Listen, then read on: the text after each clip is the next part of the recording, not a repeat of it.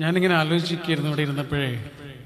ഈ മനുഷ്യൻ മറ്റൊരു മനുഷ്യനെ കണ്ടെത്തുന്ന രൂപം. ഭയങ്കര വിസ്മയകരമായ രീതികളാണ്. ഒരാൾ മറ്റൊരാളെ കണ്ടെത്തുന്ന രീതി. എണ്ണൂറ് കോടി മനുഷ്യന്മാരുണ്ട് ഈ ലോകത്ത്. ആ എണ്ണൂറ് കോടി മനുഷ്യന്മാരിൽ നിന്ന് നമ്മൾ ചില മനുഷ്യരെ കണ്ടെത്തുകയാണ്. അത് ഭയങ്കര വിസ്മയകരവുമാണ്. ഇപ്പൊ ഇവിടെ ഇവർ കണ്ടെത്തുന്നത് ഒരേ സ്കൂളിൽ അവരുടെ മക്കൾ പഠിക്കുന്നു. അവിടെ വെച്ച് പലപ്പോഴും ഇവർ കണ്ട കണ്ടുന്നുണ്ടാവും കാണുന്നുണ്ടാവും കണ്ടെത്തിയിട്ടുണ്ടാവും. പക്ഷെ അവിടെ വെച്ചിട്ടാണ് ഒരു കൂട്ടായ്മ ഇങ്ങനെ പതുക്കെ പതുക്കെ കൂട്ടായ്മയെക്കാളൊരു കൂട്ട കൂട്ടുകെട്ടായിട്ട് അതെങ്ങനെ മാറുന്നു. കൂട്ടായ്മകൾ ഉണ്ടാക്കാൻ ഈസിയാ. അല്ലേ? കൂട്ടായ്മ ഉണ്ടാക്കാൻ ഒരു പണിയില്ല. മൂന്നാളുണ്ടായ പോരെ? പക്ഷെ ഒരു കൂട്ടുകെട്ട് ഉണ്ടാക്കാൻ എളുപ്പമല്ല. അത് വളരെ സ്ലോലി ഗ്രാജ്വലി നടക്കുന്ന ഒരു പ്രോസസ്സ് അത് നമുക്ക് പറ്റുന്ന ചില മനുഷ്യന്മാർ നമ്മുടെ ജീവിതത്തിലേക്ക് വരുമ്പോഴേ കൂട്ടുകെട്ട് ഉണ്ടാവുള്ളൂ. കൂട്ടായ്മ ഉണ്ടാക്കാൻ വലിയ പണിയൊന്നുമില്ല അല്ലേ? ഖത്തറിൽ വെച്ചിട്ട്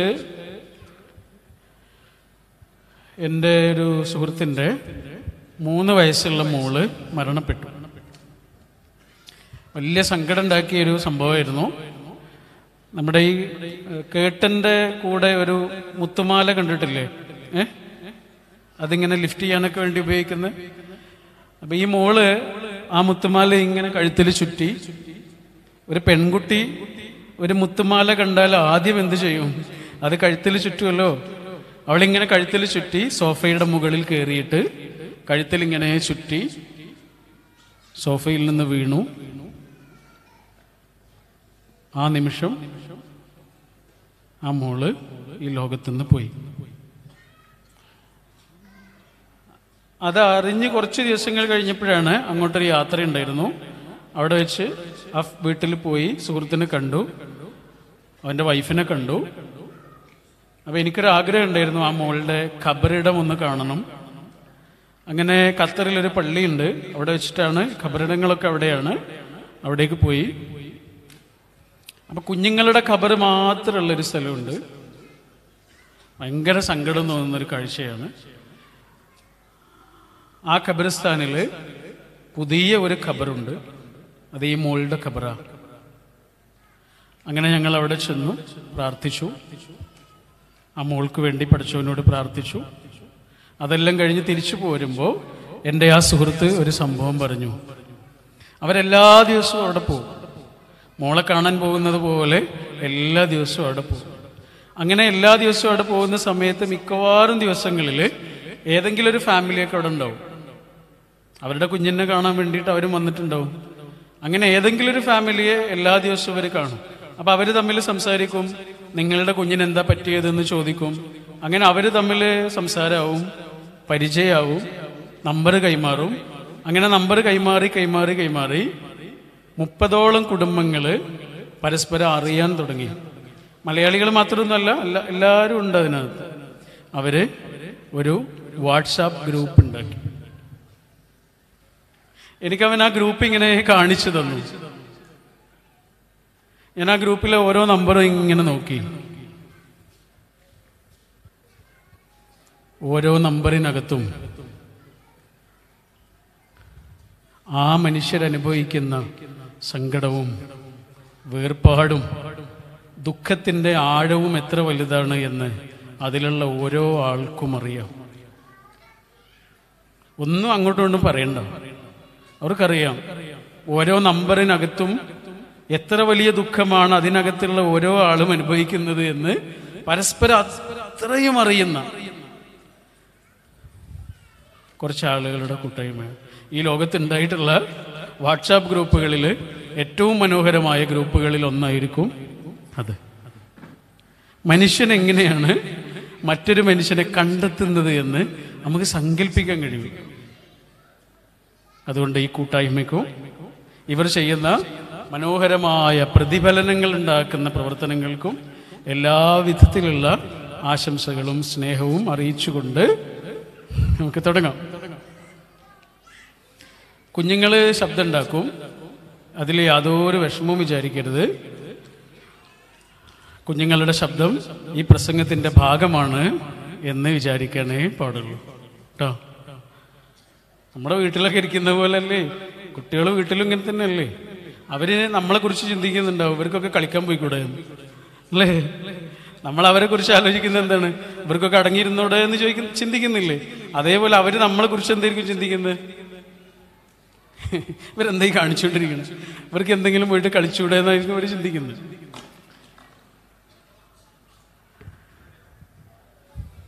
എനിക്കെന്താണെന്നറിയോ? എനിക്ക് നിങ്ങളോട് ചില കാര്യങ്ങൾ പറയാനുണ്ട്. ഒരു പ്രസംഗമായിട്ടേ അല്ല. എനിക്കിപ്പോൾ നാൽപ്പത് വയസ്സായി.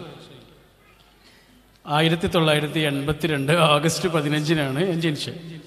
നാൽപ്പത് വയസ്സ് അപ്പോൾ ഈ നാൽപ്പത് വയസ്സ് ജീവിതത്തിൽ നാൽപ്പത് കൊല്ലത്തെ ജീവിതത്തിൽ ഇപ്പൊ ഇങ്ങനെ തിരിഞ്ഞു നോക്കുന്ന സമയത്ത് എനിക്ക് മനസ്സിലായിട്ടുള്ള ചില കാര്യങ്ങളുണ്ട്. അത് നിങ്ങളോട് പറയാനാണ്. ഞാൻ ഇങ്ങനെ ഒരു സ്ഥലത്തും പ്രസംഗിച്ചിട്ടില്ല. എനിക്ക് വളരെ ഇമോഷണലായി നിങ്ങളോട് ചില കാര്യങ്ങൾ പറയാനുണ്ട്. തിരക്കുള്ള ആളുകൾ ഉണ്ടെങ്കിൽ എണീച്ച് പോയിക്കൊണ്ടോ യാതൊരു വിഷമവും വിചാരിക്കണ്ട. സമയം ഇപ്പം തന്നെ വൈകിട്ടുണ്ട് എന്നറിയാം ഞാൻ അധിക നേരം ഒന്നും സംസാരിക്കില്ല കുറച്ച് നേരം സംസാരിക്കൂ. പിന്നെ നമുക്ക് കുറച്ച് സമയം ഇൻട്രാക്ട് ചെയ്യാമെന്നാണ് ഞാൻ വിചാരിക്കുന്നത്. നിങ്ങൾക്ക് ചോദിക്കാനുള്ള ചോദ്യങ്ങളൊക്കെ ഉണ്ടെങ്കിൽ നമുക്ക് കുറച്ച് സമയം കൂടി ചെലവഴിക്കാം. ഇത്രയും കൊല്ലത്തെ ആയുസ്സിൽ ഇങ്ങനെ ജീവിച്ച് പോന്നിട്ട് ഒന്നിങ്ങനെ തിരിഞ്ഞു നോക്കുമല്ലോ നമ്മളിങ്ങനെ നടന്നു പോകുന്നതിനിടയിൽ ഒന്ന് വെച്ച് കുത്തുമ്പോഴാണ് എത്ര നടന്നു എന്നും ഇനി എത്ര നടക്കാനുണ്ട് എന്ന് ആലോചിക്കുക. അല്ലേ? വെച്ചു കുത്തിയിട്ടില്ലെങ്കിൽ ആ പോക്ക് അങ്ങനെ പോകും അതേപോലെ ഈ ഒരു വർഷത്തിന്റെ എണ്ട് അവസാനമൊക്കെ അങ്ങനെയുള്ള ഒരു തിരിഞ്ഞു നോട്ടത്തിനാണ് ശരിക്കും നമ്മൾ സമയം കണ്ടെത്തേണ്ടത് അല്ലേ? ജനുവരി എന്നുള്ള പേര് തന്നെ ഉണ്ടായത് ജാനുസ് എന്നുള്ള ഒരു സങ്കല്പമുണ്ട് ഒരു ദേവസങ്കല്പം. ആ ദേവസങ്കല്പത്തിന്റെ പ്രത്യേകത അതിന് രണ്ട് തലകളുണ്ട്. ജാനുവരി എന്ന് പറഞ്ഞാൽ രണ്ടായിരത്തി ഇരുപത്തിരണ്ടിനെ കാണുന്നു രണ്ടായിരത്തി ഇരുപത്തി മൂന്നിലേക്ക് നോക്കുന്നു. രണ്ട് തലകൾ രണ്ട് കാഴ്ചകൾ ഒരേപോലെ പ്രവർത്തിക്കുന്നു എന്നുള്ള സങ്കല്പത്തിൽ നിന്നാണ് ജാനുവരി എന്നുള്ള പേരുണ്ടായത് എന്ന്. എനിക്ക് തോന്നുന്നുണ്ട് ഞാൻ അധിക കാലമൊന്നും ജീവിക്കില്ല ഇനി വളരെ കുറച്ചു കാലം കൂടെ ജീവിക്കുള്ളൂ എന്ന് ഒരു ഇൻഡ്യൂഷൻ ഉണ്ട്. അത് വെറുതെ ഒരു ഇൻഡ്യൂഷനാണ് ചിലപ്പോൾ അങ്ങനെയൊന്നും ആവില്ല. നമുക്കൊരു ഇൻഡ്യൂഷൻ ഉണ്ടാവില്ല ഗഡ് ഫീൽ ഉണ്ടാവില്ല. എനിക്ക് അങ്ങനെ ഒരു ഗഡ് ഫീൽ ഉണ്ട്. അപ്പോൾ അങ്ങനെ ഒരു ഗഡ് ഫീൽ ഉണ്ടാകുമ്പോൾ സ്വാഭാവികമായിട്ട് ഒന്ന് പിറകിലേക്ക് ചിന്തിക്കണം. എന്റെ കാക്ക മരിച്ചത് ഇരുപത്തി ആറാമത്തെ വയസ്സിലാണ്. എന്റെ തൊട്ട് മുകളിലുള്ള ആളായിരുന്നു. ഞങ്ങൾ നാല് ആൺകുട്ടികളായിരുന്നു. ഞാൻ അവസാനത്തെ ആളാ. എന്റെ തൊട്ട് മുകളിലുള്ള ആൾ. അവന്റെ കല്യാണത്തെ കുറിച്ചൊക്കെ ഏകദേശം ആലോചിക്കുന്ന സമയത്താണ്. അല്ലെങ്കിൽ അവനൊരു പുതുമാരനായി ഒക്കെ ഇറങ്ങേണ്ട ഒരു സമയത്താണ് അവന്റെ മൃതദേഹം മയ്യത്ത് പള്ളിയിലേക്ക് എടുക്കുന്നത്. അപ്പൊ അവന്റെ മരണത്തിലൊക്കെ ഉണ്ടായിട്ടുള്ള ഒരു മരണചിന്ത ശരിക്കും എപ്പോ എല്ലാ നിമിഷവും ഇങ്ങനെ ഭരിച്ചുകൊണ്ടിരിക്കുന്നത് അത് മനുഷ്യന്റെ ഒരു ദുര്യോഗമാണ്. വേറെ ഒരു ഒരു ജീവജാലത്തിനും അതില്ല കേട്ടോ മനുഷ്യന് മാത്രമേ ഉള്ളൂ. അത് നിങ്ങൾ ആലോചിച്ച് നോക്കിയിട്ടുണ്ടോ? മനുഷ്യന് മാത്രമേ മരണചിന്ത ഉള്ളൂ അത് നമ്മുടെ വലിയ ഒരു ഒരു ഒരു ദുഃഖവുമാണ്. അടുത്ത നിമിഷം അറവിന് കൊണ്ടുപോകുന്ന ഒരു കാളയ്ക്കോ ഒരു പോത്തിനോ ഒരു ഒരു ജീവജാലത്തിനോ പോലും മരണത്തെ പേടിയില്ല. കാരണം മരണത്തെക്കുറിച്ച് അതിന് അറിയില്ല മനുഷ്യന് മാത്രമാണ് ഈ അറിവുള്ളത്. അതുകൊണ്ടാണ് നമ്മുടെ പേര് തന്നെ മർത്യൻ എന്നാണ്. അല്ലേ? മർത്യൻ എന്നുള്ള വാക്കിന്റെ അർത്ഥം എന്താണ്? എന്താ? മൃത്യു ഉള്ളവൻ പേരാണ് മർത്യൻ. നമ്മളല്ലാത്ത കാര്യങ്ങൾക്കൊക്കെ വിളിക്കുന്ന പേരെന്താ? ജീവി എന്നാ പറയാ. അല്ലേ? ജീവി എന്നല്ലേ പറയാ? കാരണം അവർക്ക് ജീവിതത്തെ കുറിച്ചുള്ള ആലോചന മാത്രമേ ഉള്ളൂ. നമ്മുടെ ഒരു പ്രശ്നം മരണത്തിനെ കുറിച്ചുള്ള തികച്ചും അനിശ്ചിതത്വം നിറഞ്ഞ ഒരു അവസ്ഥയെക്കുറിച്ചുള്ള നിരന്തരമായ ബോധം നമ്മുടെ ഉള്ളിലുണ്ട്. നമ്മുടെ മോനോ മോളോ സ്കൂളിൽ നിന്ന് തിരിച്ചു വരാൻ വൈകുമ്പോഴേക്ക് നമുക്ക് പേടി ഉണ്ടാവാനുള്ള കാരണം എന്താണ്? മരണബോധമാണ്. നമ്മുടെ കയ്യിൽ ഇങ്ങനെ പിടിച്ചിരിക്കുന്ന പളുങ്കിന്റെ ഒരു ഒരു ചില്ല് ഇങ്ങനെ താഴേക്ക് വീഴുമോ എന്നുള്ള പേടി ഉണ്ടാവാനുള്ള കാരണം എന്താണ്? താഴെ വീണാൽ അത് പൊട്ടിപ്പോകുമോ എന്നുള്ള നമ്മുടെ പേടി കൊണ്ടാണ്. ഇതേപോലെ തന്നെ മർത്യൻ. എങ്ങനെ കഴിയുന്നു എന്ന് ചോദിച്ചാൽ നമ്മൾ എന്താ ഉത്തരം പറയാ? സുഖമായി സുഖമായി കഴിയുന്നു എന്ന് പറയും. സുഖമായി സുഖമായി തുടങ്ങുന്നു എന്നല്ല. പിന്നെയോ? സുഖമായി കഴിയുന്നു. സുഖമായി കഴിഞ്ഞ് കഴിഞ്ഞ് കഴിഞ്ഞ് കഴിഞ്ഞ് പോകുന്നു. ആ വാക്കിന്റെ ഉള്ളിൽ തന്നെ ഭീകരമായൊരാശയുണ്ട്. സുഖമായി കഴിയുന്നു. കഴിയുന്നു.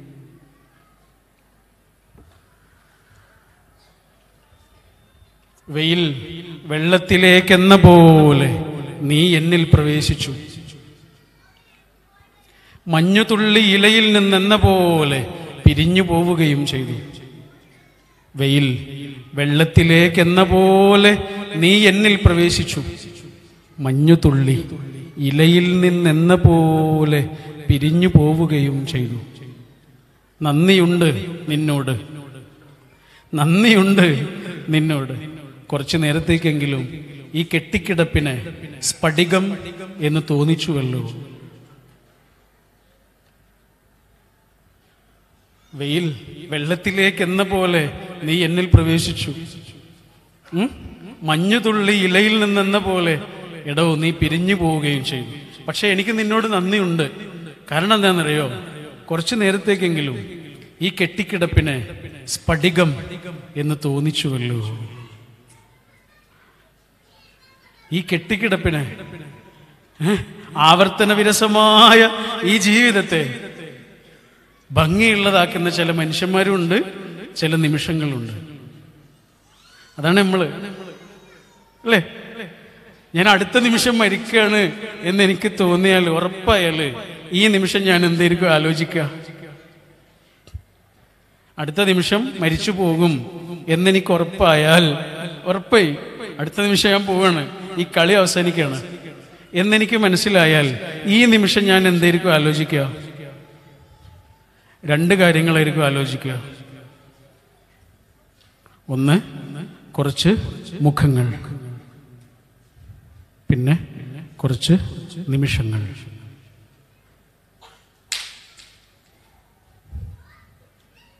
വൈക്കം മുഹമ്മദ് ബഷീറിനോട് ഒരു അഭിമുഖത്തിൽ എം എൻ കാരശ്ശേരി ചോദിക്കുന്നുണ്ട് ബഷീറിന്റെ ജീവിതത്തിലെ ഏറ്റവും സന്തോഷം നിറഞ്ഞ നിമിഷം ഏതായിരുന്നു? ബഷീറിന് ഒരു എഴുപത് വയസ്സെങ്കിലുള്ള സമയത്താണ് ഈ ചോദ്യം. എത്രയോ അവാർഡുകൾ കിട്ടിയിട്ടുള്ള ആളാണ്. എത്രയോ വലിയ അംഗീകാരങ്ങൾ കിട്ടിയിട്ടുള്ള ആളാണ്. എത്രയോ വലിയ പുസ്തകങ്ങൾ എഴുതി പബ്ലിഷ് ചെയ്തിട്ടുള്ള ആളാണ്. ആ ആളോട് ചോദിക്കുകയാണ് ഈ ആയുസ്സിൽ ഏറ്റവും മനോഹരമായ നിമിഷം ഏതായിരുന്നു? ബഷീർ എന്താ പറഞ്ഞ അറിയോ? ബഷീറിന്റെ മോനുണ്ട് അനീസ്. അനീസ് ചെറിയ കുഞ്ഞായിരിക്കുന്ന സമയത്ത് അനീസിന് ഒരു പ്രശ്നം ഉണ്ടായിരുന്നു കരഞ്ഞിട്ട് ശ്വാസം നിലച്ചു പോകുന്ന ഒരു അസുഖമുണ്ട്. ചില കുട്ടികൾക്ക് അങ്ങനെ ഉണ്ടാവില്ലേ? ശ്വാസം കിട്ടാതാവുക. അങ്ങനെ ശ്വാസം കിട്ടാതാവുന്ന അസുഖം ഒരു പ്രയാസം. അങ്ങനെ ശ്വാസം കിട്ടാതായ ഒരു പാതിരാത്രിയിൽ മോനെയും എടുത്ത് ബഷീർ ആശുപത്രിയിലേക്കോ അല്ലെങ്കിൽ ഒരു വാഹനം കിട്ടാനോ ഓടിയ ഒരു നിമിഷത്തെക്കുറിച്ച് ബഷീർ പറയുന്നു. കുറേ ഓടിയിട്ടും എവിടെ എത്തുന്നില്ല. കുഞ്ഞിന്റെ ഒരു സൗണ്ടോ ഒരു കരച്ചിലോ പോലും കേൾക്കുന്നില്ല. ബഷീർ ഉറപ്പിച്ചു എന്റെ കുട്ടി മരിച്ചു. ഒരുപാട് പ്രായമായിട്ടാണ് ബഷീറിന് മക്കളുണ്ടാവുന്നത്. കല്യാണം കഴിക്കുന്നത് തന്നെ ഒരുപാട് പ്രായമായിട്ടാണ് അങ്ങനെ മക്കളുണ്ടായി അറ്റുനോ ആറ്റുനോട്ട് കിട്ടിയ ഒരു കുഞ്ഞാണ്. ആ കുഞ്ഞ് ശ്വാസമില്ല കരച്ചിലില്ല ഒരു സൗണ്ടില്ല ഒന്നുമില്ല ഒരനക്കവുമില്ല ബഷീർ ഉറപ്പിച്ചു എന്റെ കുട്ടി മരിച്ചു. കരഞ്ഞുകൊണ്ടാണ് പിന്നുള്ള ഓട്ടം. അതിനിടക്ക് ബഷീർ പറയാ ഒരു കല്ലിൽ തട്ടിയിട്ട് ഞാൻ വീണു. എന്റെ കുട്ടി എന്റെ കയ്യിൽ നിന്ന് ഇങ്ങനെ തുള്ളി. ആ നിമിഷം എന്റെ കുട്ടി കരഞ്ഞു. എന്റെ ആയുസ്സിലെ ഏറ്റവും മനോഹരമായ നിമിഷം. എഴുപത് കൊല്ലത്തെ ആയുസ് മുഴുവനും ഒരൊറ്റ കുഞ്ഞിന്റെ കരച്ചിലിലേക്ക് വന്നു നിന്നിട്ട് വൈക്കം മുഹമ്മദ് ബഷീർ പറയാണ് ഈ ആയുസ്സിലെ ഏറ്റവും ബ്യൂട്ടിഫുൾ ആയിട്ടുള്ള മൊമെന്റ് എന്റെ കുഞ്ഞിന്റെ ആ പാതിരാത്രിയിലെ കരച്ചിൽ.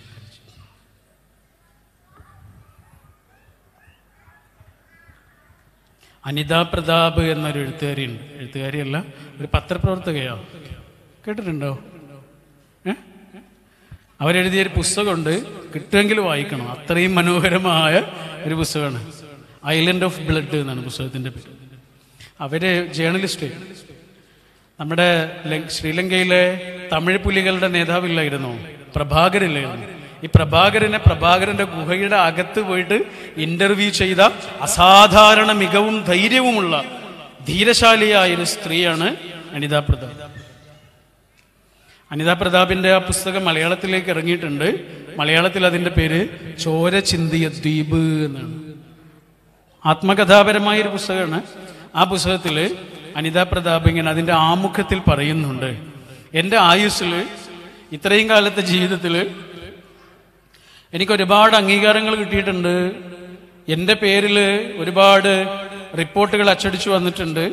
എന്നെ ശ്രദ്ധേയമാക്കിയ ലോകപ്രസിദ്ധയാക്കിയ പിന്നെ ഇന്റർവ്യൂകൾ ഞാൻ നടത്തിയിട്ടുണ്ട്. ഒക്കെ ശരിയാ. പക്ഷെ എന്റെ ജീവിതത്തിലെ ഏറ്റവും മനോഹരമായ നിമിഷം ഏതാണ് എന്ന് എന്നോട് ചോദിച്ചാൽ ഞാനിതൊന്നും പറയൂല. എനിക്ക് കിട്ടിയ അവാർഡുകളൊക്കെ ഞാനൊരു സൈഡിലേക്ക് നീക്കി വെക്കും. എന്നെ പ്രസിദ്ധയാക്കിയ മുഴുവൻ അംഗീകാരങ്ങളെയും നിമിഷങ്ങളെയും ഞാനൊരു സൈഡിലേക്ക് ഇങ്ങനെ മാറ്റി വെക്കും. എന്നിട്ട്? എന്നിട്ട്?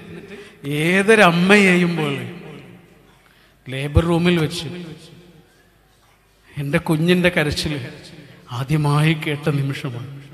എന്റെ ആയുസ്സിലെ ഏറ്റവും മനോഹരമായ നിമിഷം.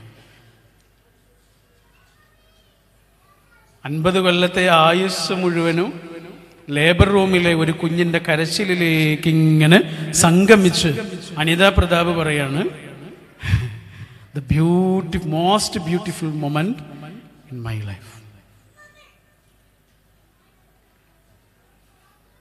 സാരമാം ചില സന്ദർഭങ്ങൾ അല്ല മാത്രകൾ മാത്രം. വൈലോപ്പിള്ളിയുടെ കവിതയാണ് ആവർത്തന വിരസമായൊരു ജീവിതമാണ് മനുഷ്യന്റെ എല്ലാ ദിവസവും ഏകദേശം ഒരേപോലെ തന്നെ. പക്ഷെ ഈ ജീവിതത്തെ ആവർത്തന വിരസമായൊരു ജീവിതത്തെ കുറച്ചൊക്കെ മനോഹരമാക്കുന്നത് രണ്ട് കാര്യങ്ങളാണ്. ഒന്ന് കുറച്ച് മനുഷ്യന്മാരാണ്. അല്ലേ? പിന്നെയോ? തിരിഞ്ഞു നോക്കുമ്പോൾ നമുക്കിങ്ങനെ കിട്ടുന്ന കുറച്ച് മൊമെന്റ്സ് മൊമെന്റ്സ് മനുഷ്യന്മാരുടെ മനസ്സിൽ നമ്മൾ ബാക്കിയാക്കേണ്ടതും ആ മൊമെന്റ്സ് ആണ്. ശരിക്കും. അപ്പൊ അച്ഛൻ എന്ന് പറയുമ്പോൾ നമ്മുടെ മനസ്സിലേക്ക് ഓടി വരുന്നത് എന്താ? അച്ഛൻ എന്ന് പറയുമ്പോൾ സാറിന്റെ മനസ്സിലേക്ക് അച്ഛനെ ഒന്ന് ആലോചിച്ചിട്ട് കണ്ണടച്ചിരുന്നാൽ മനസ്സിലേക്ക് ഓടി വരുന്നത് എന്തായിരിക്കും? കുറച്ച് മൊമെന്റ്സ് ആയിരുന്നു. അല്ലേ? അമ്മ അമ്മൂമ്മ മുത്തശ്ശി വല്യമ്മ വല്ലിപ്പ പൂപ്പ. Moments moments ബാക്കിയാവുക. അതുകൊണ്ട് നമ്മുടെ കുട്ടികൾക്കൊക്കെ വാങ്ങിക്കൊടുക്കാവുന്ന ഏറ്റവും നല്ല സമ്മാനം എന്താണെന്നറിയോ? നമ്മുടെ കുട്ടികൾക്ക് കൊടുക്കാവുന്ന ഏറ്റവും നല്ല സമ്മാനം എന്താണെന്നറിയോ? മൊമെന്റ്സ് കളിപ്പാട്ടങ്ങളൊക്കെ കേടുന്നു. അല്ലേ? ഒരു വലിയ ഷോപ്പിംഗ് മാളിൽ നിന്ന് പുറത്തിറങ്ങുമ്പോൾ നമ്മൾ വലിയ ടോയ്സ് എന്തോ വാങ്ങിക്കൊടുത്തിട്ടുണ്ട് നമ്മുടെ കുട്ടിക്ക്. അങ്ങനെ നമ്മൾ കാറിൽ വന്ന് കയറിയിരുന്ന് നമ്മൾ കയറുന്ന സമയത്ത് തന്നെ ഒരാൾ ഓടി വന്നു. ഒരു സെക്യൂരിറ്റി ജീവനക്കാരൻ നീല യൂണിഫോമൊക്കെ ഇട്ടിട്ട് ഓടി വന്ന് നമുക്ക് വേണ്ട സഹായങ്ങളൊക്കെ ചെയ്ത് സഹകരിച്ച് വഴിയൊക്കെ കാണിച്ചു തന്ന്. അയാളുടെ സഹായത്തോടെ വണ്ടിയൊക്കെ എടുത്ത് നമ്മളിങ്ങനെ പുറത്തേക്ക് പോകാൻ ഒരുങ്ങുമ്പോൾ ആ ഗ്ലാസ് മെല്ലെ ഇങ്ങനെ താഴ്ത്തിയിട്ട് ആ സെക്യൂരിറ്റി ഏട്ടനെ വിളിച്ചിട്ട് കൈ കൊടുത്ത് പേരൊക്കെ ചോദിച്ച് വിശേഷങ്ങളൊക്കെ ചോദിച്ച് പറ്റുമെങ്കിൽ അയാളെ ഒന്ന് സന്തോഷിപ്പിച്ച് നമ്മൾ ഗ്ലാസ് പൊക്കിയിട്ട് നമ്മുടെ യാത്ര തുടങ്ങുമ്പോൾ നമ്മുടെ സീറ്റിന്റെ അപ്പുറത്തിരിക്കുന്നൊരു ആളില്ലേ? പത്ത് വയസ്സോ പതിമൂന്ന് വയസ്സോ അഞ്ച് വയസ്സോ ഒക്കെ ഉള്ള ഒരാളില്ലേ? അയാൾക്ക് നമ്മൾ കൊടുത്തിട്ടുള്ള ഒരു ഗിഫ്റ്റ് ഉണ്ട്. ആ ഷോപ്പിംഗ് മാളിൽ നിന്ന് വാങ്ങിക്കൊടുത്ത ഗിഫ്റ്റ് ഇല്ലേ? അത് കേടുന്നു കുറെ കാലം കഴിഞ്ഞിട്ട് ഇങ്ങനെ ആലോചിക്കുമ്പോൾ ആ കുട്ടിയുടെ മനസ്സിൽ നമ്മൾ കൊടുത്ത ലക്ഷറി ഒന്നും ഉണ്ടാവില്ല. നമ്മൾ വാങ്ങിക്കൊടുത്ത ആർഭാടങ്ങളൊന്നും ഉണ്ടാവില്ല. അച്ഛൻ എന്ന് പറയുമ്പോൾ അമ്മ എന്ന് പറയുമ്പോൾ ഇപ്പ ഇമ്മ എന്നൊക്കെ പറയുമ്പോൾ കുട്ടികളുടെ മനസ്സിൽ എന്തുണ്ടാവുക? മൊമെന്റ്സ് അല്ലാത്തൊക്കെ പോ മറ്റൊരാളുടെ മനസ്സിൽ നമ്മളിങ്ങനെ ബാക്കിയാവുന്നതെന്നറിയോ? ചില മൊമെന്റ്സ് ഉണ്ടാക്കുമ്പോഴാണ്.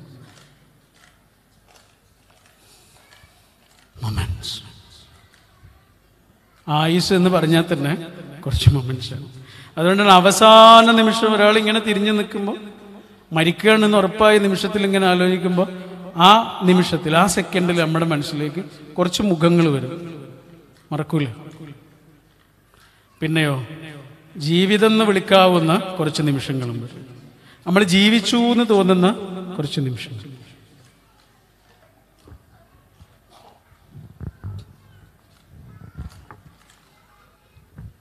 നിങ്ങൾ ആലോചിച്ച് നോക്കിയിട്ടുണ്ടോ? നന്നായി ഉറങ്ങാനുള്ള മരുന്ന് ലോകത്ത് കിട്ടും. ഒരാൾക്ക് ഉറക്കില്ലെങ്കിൽ ഒരാൾക്ക് ഉറക്ക് കിട്ടുന്നില്ല എങ്കിൽ നന്നായി ഉറങ്ങാൻ സഹായിക്കുന്ന ഒരുപാട് ഗുളികകളും മരുന്നൊക്കെ ലോകത്ത് വാങ്ങാൻ കിട്ടും അല്ലേ? സ്ലീപ്പിംഗ് പിൽസ് വാങ്ങാൻ കിട്ടും.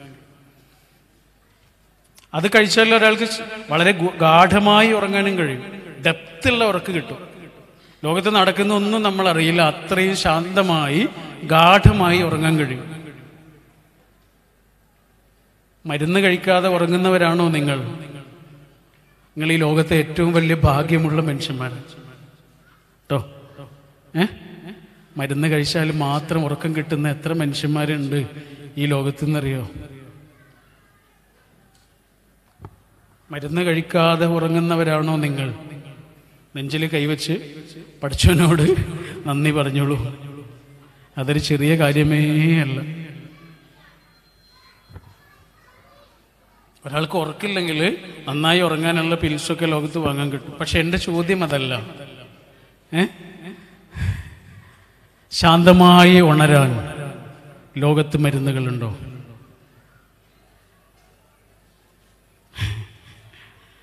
ഗാഠമായി ഉറങ്ങാൻ ലോകത്ത് മരുന്നുണ്ട്. ശാന്തമായി ഉണരാൻ ലോകത്ത് മരുന്നില്ല. ശരിക്കും ശാന്തമായി ഉണരുക എന്നുള്ളതല്ലേ? കുറച്ചുകൂടെ ഇമ്പോർട്ടന്റ് ആയിട്ടുള്ള കാര്യം. കാരണം ഒരു ദിവസം തുടങ്ങുകയാണ് മറ്റതൊരു ദിവസം അവസാനിക്കുകയാണ് ക്ഷീണം ഉണ്ടാവും സ്വാഭാവികമായിട്ട് നമ്മൾ ഉറങ്ങി നിന്നൊക്കെ വരാം. കുറച്ച് വൈകിയാലും. പക്ഷെ ശാന്തമായി ഉണരുക എന്നുള്ളത് കുറച്ചുകൂടെ പ്രാധാന്യമുള്ളതാണെന്ന് തോന്നുന്നു. കാരണം അതിന് മരുന്നില്ല. മറ്റത് വേണമെങ്കിൽ മരുന്നൊക്കെ കിട്ടില്ലേ ശാന്തമായി ഉണരാൻ മരുന്നില്ല.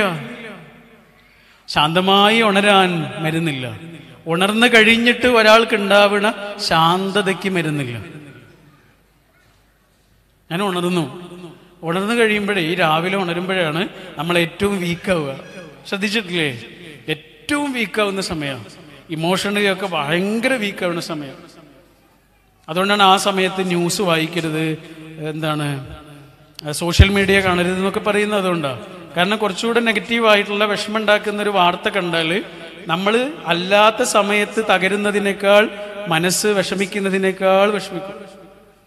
അതുകൊണ്ട് നെഗറ്റീവായ ഒരു സംഗതിയും വരാൻ സാധ്യതയുള്ള ഒന്നിലേക്കും മനഃപൂർവം പോകരുത്. എന്തെങ്കിലും നമ്മളെ പോസിറ്റീവാക്കുന്ന കാര്യങ്ങൾ രാവിലെ ഉണരുന്ന സമയത്ത് കാണാനും പറയാനും അങ്ങോട്ട് പറയാനും ഇങ്ങോട്ട് കേൾക്കാനും ഒക്കെ ശ്രമിക്കാൻ പാടും. ഒരു മരണവാർത്ത ഉണ്ടെങ്കിൽ പോലും ഒരാൾ ഉണർന്ന ഉടനെ അത് പറയരുത്. അയാൾ കുറച്ചൊന്ന് ഉണർന്നു കഴിഞ്ഞ് കുറച്ച് സമയം കഴിഞ്ഞ് അയാൾക്ക് അയാളുടെ ഇമോഷണലി കുറച്ചൊന്ന് ഫിറ്റ് ആകുന്ന സമയത്ത് അത് പറഞ്ഞു കൊടുക്കാൻ പാടും. മാർക്ക് വീൻസിനെ കുറിച്ച് കേട്ടിട്ടുണ്ടോ നിങ്ങൾ? മാർക്ക് വീൻസ് ലോകപ്രസിദ്ധനായ ഒരു യൂട്യൂബറാണ് കേട്ടോ. അദ്ദേഹം ലോകം മുഴുവനും ഇങ്ങനെ ചുറ്റിയിട്ട് രുചികൾ തേടുന്ന ആളാണ്. ഓരോ നാട്ടിലെയും രുചികൾ തേടുന്ന ഫുഡ് ബ്ലോഗറാ നമ്മുടെ കോവിഡിന്റെ കുറച്ച് മുമ്പ് അദ്ദേഹം കോഴിക്കോട് വന്നിരുന്നു. കോഴിക്കോട്ടും തിരുവനന്തപുരത്തും ഒക്കെ അവിടെയുള്ള രുചികൾ ആസ്വദിച്ചിട്ട് പോയിരുന്നു. നമ്മുടെ കാരന്തൂര് ഒരു കാടിന്റെ ഉള്ളിൽ ഒരു ചേട്ടന്റെ കഞ്ഞിക്കടയുണ്ട്. ആരെങ്കിലും പോയിട്ടുണ്ടോ? ഒരു ചന്ദ്രേട്ടന്റെ കട. പോയില്ലേ? ആ. ഞാൻ ഇന്ന് പോയി പക്ഷെ അവിടെ നല്ല തിരക്കായിരുന്നു. അതുകൊണ്ട് പോകാൻ പറ്റില്ല. അവിടെ മാർക്ക് വിൻസ് വന്നിരുന്നു. മാർക്ക് വിൻസ് വന്നതിന് ശേഷമാണ് കൂടുതൽ ആളുകൾ ആ കട അറിയുകയൊക്കെ ചെയ്യുന്നത് ഈ മാർക്ക് വിൻസ് കോവിഡിന്റെ സമയത്ത് അദ്ദേഹത്തിന്റെ ഭാര്യയുടെ നാട്ടിൽ ആയിപ്പോയി. തായ്ലൻഡിൽ അപ്പൊ തായ്ലൻഡിലെ സ്ട്രീറ്റിലും അതുപോലെയുള്ള ചെറിയ ചെറിയ പട്ടണങ്ങളിലൂടെയൊക്കെ മാത്രമേ അദ്ദേഹത്തിന് ആ സമയത്ത് പോകാൻ കഴിയൂ. വേറെ എങ്ങോട്ട് യാത്ര ചെയ്യാൻ കഴിയില്ലല്ലോ. അങ്ങനെയുള്ള ആ സമയത്ത് അദ്ദേഹം തായ്ലൻഡിലെ ഒരു ചെറിയ പട്ടണത്തിലെ പള്ളിയുടെ മുന്നിലുള്ള ഒരു മിഠായി കച്ചവടക്കാരന്റെ അടുത്തെത്തുന്നുണ്ട് അയാൾ നമ്മുടെ ഈ പഞ്ചാരപ്പാൽ മിഠായി ഇല്ലേ കോഴിക്കോടൊക്കെ കണ്ടില്ലേ ബീച്ചിലൊക്കെ ഉണ്ടായിരുന്നു അത്. ഇങ്ങനെ വലിച്ചെടുക്കുന്ന ഒരു മിഠായി. അങ്ങനെ ഒരു മിഠായിയാണ് ഈ ആൾ കച്ചവടം ചെയ്യുന്നത്. അപ്പൊ കൂടുതലും അവിടെ ഉള്ളത് ചെറിയ കുട്ടികളാണ് അവരുടെ കയ്യിൽ ചെറിയ പൈസയൊക്കെ ഉണ്ട് അത് കൊടുത്തിട്ട് ഇത് വാങ്ങിക്കഴിക്കണം അപ്പൊ മാർക്ക് വിൻസ് ചെന്നിട്ട് ഈ മിഠായി കഴിക്കുന്നുണ്ട്. അദ്ദേഹം അദ്ദേഹത്തിന്റെ ഭാര്യയൊക്കെ മിഠായി കഴിക്കുന്നുണ്ട്. അങ്ങനെ മിഠായി കഴിക്കുന്ന സമയത്ത് സാധാരണ ഇങ്ങനെ ഒരു ചോദ്യം അദ്ദേഹമോ അദ്ദേഹത്തിന്റെ ഭാര്യയോ ആരോടും ചോദിക്കാറില്ല പക്ഷെ ഇദ്ദേഹത്തോട് മാത്രം ചോദിച്ചു. പേഴ്സണൽ ആയൊരു കാര്യം ചോദിച്ചു. സാധാരണ അങ്ങനെ അവർ ചോദിക്കാറില്ല ഭക്ഷണത്തെ കുറിച്ചല്ലാതെ വേറെ ഒന്നിനെ കുറിച്ച് ചോദിക്കാറില്ല. കാരണം ഈ കച്ചവടം ചെയ്യുന്ന ആളില്ലേ? ഇയാളെ കണ്ടാൽ തന്നെ അറിയാം. ഒരുപാട് വയസ്സായിട്ടുണ്ട് ആൾക്ക്. ശരീരത്തിലെ സ്കിൻ ടോണൊക്കെ കണ്ടാൽ തന്നെ അറിയാം. അപ്പൊ മാർക്ക് വിൻസിന്റെ വൈഫ് ചോദിച്ചു നിങ്ങൾക്ക് എത്ര വയസ്സായി? എന്ന് ചോദിച്ചു. അപ്പൊ അയാൾ പറഞ്ഞ എത്ര അറിയാം നൂറ്റി ഇരുപത്തി ഒമ്പത് വയസ്സ്. നൂറ്റി ഇരുപത്തി ഒമ്പത് വയസ്സ്. അത് കേട്ടപ്പോൾ തന്നെ വരഞ്ഞിട്ട് ഞെട്ടി അപ്പോൾ കുറച്ച് സമയം കഴിഞ്ഞ് മിഠായിയൊക്കെ കഴിച്ചിട്ട് മാർക്ക് വിൻസിന്റെ വൈഫ് വീണ്ടും അയാളുടെ അടുത്ത് ചെന്നിട്ട് ഒരു ചോദ്യം കൂടി ചോദിച്ചു. അല്ല സാധാരണ ആളുകൾക്കൊക്കെ രാവിലെ ഉണരുമ്പോൾ ഒരു ഓഫ് അവർ ഉണ്ട് ഒരു മൂഡ് ഓഫ് അവർ ഉണ്ട്. ഏഹ് നിങ്ങൾക്ക് അങ്ങനെ എപ്പോഴെങ്കിലും ഉണ്ടായിട്ടുണ്ടോ എന്ന് ചോദിച്ചു.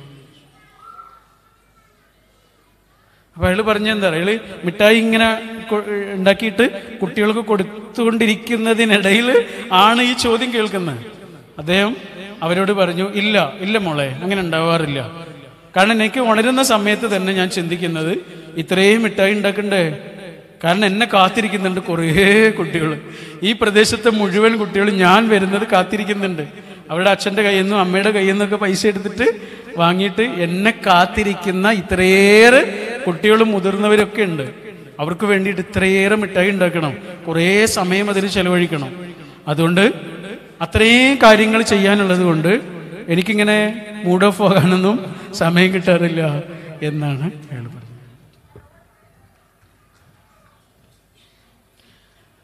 പൗലോ കൊയിലോയുടെ വളരെ പ്രസിദ്ധമായ ഒരു പുസ്തകമുണ്ട്. ചെറിയ പുസ്തകമാണ്. ഒഴുകുന്ന നദി പോലെ എന്നാണ് ആ പുസ്തകത്തിന്റെ പേര്. അതിൽ അദ്ദേഹം ഒരു മുത്തശ്ശിയെ കുറിച്ച് പറയുന്നുണ്ട്.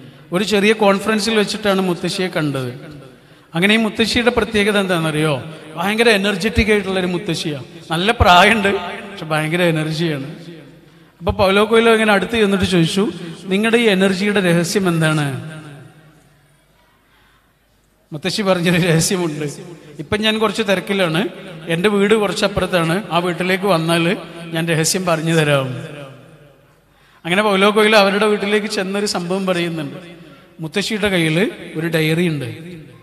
ആ ഡയറിയെ കുറിച്ച് പറഞ്ഞു ഇതാണ് എന്റെ സന്തോഷത്തിന്റെ രഹസ്യം. പൗലോ കൊയിലയോട് അത് തെരഞ്ഞു തുറന്നു നോക്കാൻ പറഞ്ഞു. ഇന്നേതാ ഡേറ്റ് ഡേറ്റ് ഇങ്ങനെ ആലോചിച്ചിട്ട് ഡേറ്റ് പറഞ്ഞു. ആ ഡേറ്റിലുള്ള പേജ് ഒന്ന് മറിച്ചെടുക്കാൻ പറഞ്ഞു. പൗലോ കൊയിലോ ഇങ്ങനെ മറിച്ച് മറിച്ച് മറിച്ച് ആ ഡേറ്റിലെത്തി. അതിൽ എഴുതി വെച്ചിട്ടുണ്ട് ഇന്നാണ് പോളിയോക്കുള്ള മരുന്ന് കണ്ടുപിടിച്ചത്. ഇന്നാണ് പോളിയോക്കുള്ള മരുന്ന് കണ്ടുപിടിച്ചത്. മുത്തശ്ശി പറഞ്ഞു ഇന്ന് സമാധാനമായിരിക്കാൻ ഇതുപോലെ. ഇതെങ്ങനെ കണ്ടുപിടിച്ചിട്ടില്ലായിരുന്നെങ്കിൽ മോനെ എത്ര ആളുകളായിരിക്കും മരണത്തിന് വിട്ടുകൊടുക്കേണ്ടി വരിക? ദുർഘടമായ ജീവിതാവസ്ഥകളിലേക്ക് എത്ര മനുഷ്യരെ വിട്ടുകൊടുക്കേണ്ടി വരും? എനിക്കിന്ന് മനുഷ്യകുലത്തിന് വേണ്ടി ഒരു മനുഷ്യൻ അയാളുടെ അത്രയേറെ രാവുകളും പകലുകളും അധ്വാനവും ചെലവഴിച്ച് സമയവും ചെലവഴിച്ച് ഒരാൾ ഈ മരുന്ന് കണ്ടെത്തി എന്നുള്ളത് മുഴുവൻ മനുഷ്യന്മാർക്കുണ്ടായിട്ടുള്ള സമാധാനം എത്ര വലുതാണ് എന്ന് ആലോചിക്കുമ്പോൾ എനിക്കുണ്ടാകുന്ന സന്തോഷമുണ്ട്. ഇന്ന് വൈകുന്നേരം വരെ സന്തോഷിക്കാൻ എനിക്കത് മതി. എൺപത് വയസ്സെങ്കിലും കഴിഞ്ഞിട്ടുള്ള ഒരു മുത്തശ്ശിയാണ് പറയണത്. ഇവരൊക്കെ എന്താ ചെയ്യുന്നതെന്നറിയാം? ആയുസ്സിനൊരു മീനിങ് കൊടുക്കുകയാണ് പറഞ്ഞു വന്നത് എന്താണെന്നറിയാം? ശാന്തമായി ഉണരാനുള്ള മരുന്ന് എന്താണ്? ഇതാണ് പ്രശ്നം. ശാന്തമായി ഉണരാനുള്ള മരുന്ന് എന്താണ്? അല്ലെങ്കിൽ ഉണർന്നു കഴിഞ്ഞാൽ നമുക്കൊരു ശാന്തത കിട്ടാനുള്ള മരുന്ന് എന്താണ്? എനിക്ക് നാല് മരുന്നുകളാണ് കിട്ടിയത് നിങ്ങളോട് അത് പറയാനാണ് ഞാൻ ഇന്ന് ഉദ്ദേശിക്കുന്നത്. വളരെ കുറച്ച് സമയം കൊണ്ട് ഞാൻ അവസാനിപ്പിക്കാം കേട്ടോ. കുറച്ച് സമയം ഞാൻ എടുക്കുള്ളൂ. കുറച്ച് സമയം. ഈ നാല് കാര്യങ്ങളാണ് ഞാൻ നേരത്തെ പറഞ്ഞ എന്റെ ആയുസ് കൊണ്ട് ഞാൻ പഠിച്ച നാല് കാര്യങ്ങൾ. ഒന്നാമത്തെ കാര്യം എന്താണെന്നറിയോ? ഏ? കണ്ടൻമെന്റ് ആണ്. കണ്ടൻമെന്റ് എന്താ? കണ്ടൻമെന്റ് എന്ന് പറഞ്ഞാൽ സംതൃപ്തി. നമ്മളിപ്പോൾ എവിടെയാണോ ഉള്ളത്? അവിടെ. നമ്മൾ ആരുടെ കൂടെയാണോ ഉള്ളത്? അവരെ. നമുക്ക് എന്താണോ ഉള്ളത്? അതിനെ. ഏറ്റവും ആനന്ദത്തോടെയും സന്തോഷത്തോടെയും ആർക്കാണോ സ്വീകരിക്കാൻ പറ്റുന്നത്? അവരുടെ ഉള്ളിൽ മാത്രമേ ഒരു ഇന്നർ പീസ് അനുഭവിക്കാൻ കഴിയുള്ളൂ. ശരിയല്ലേ? അല്ലേ? അസംതൃപ്തി എവിടെയാണോ മനുഷ്യൻ ഉണ്ടാവണത് അവർക്ക് എന്താ നഷ്ടപ്പെടുക? സമാധാനം നഷ്ടപ്പെടും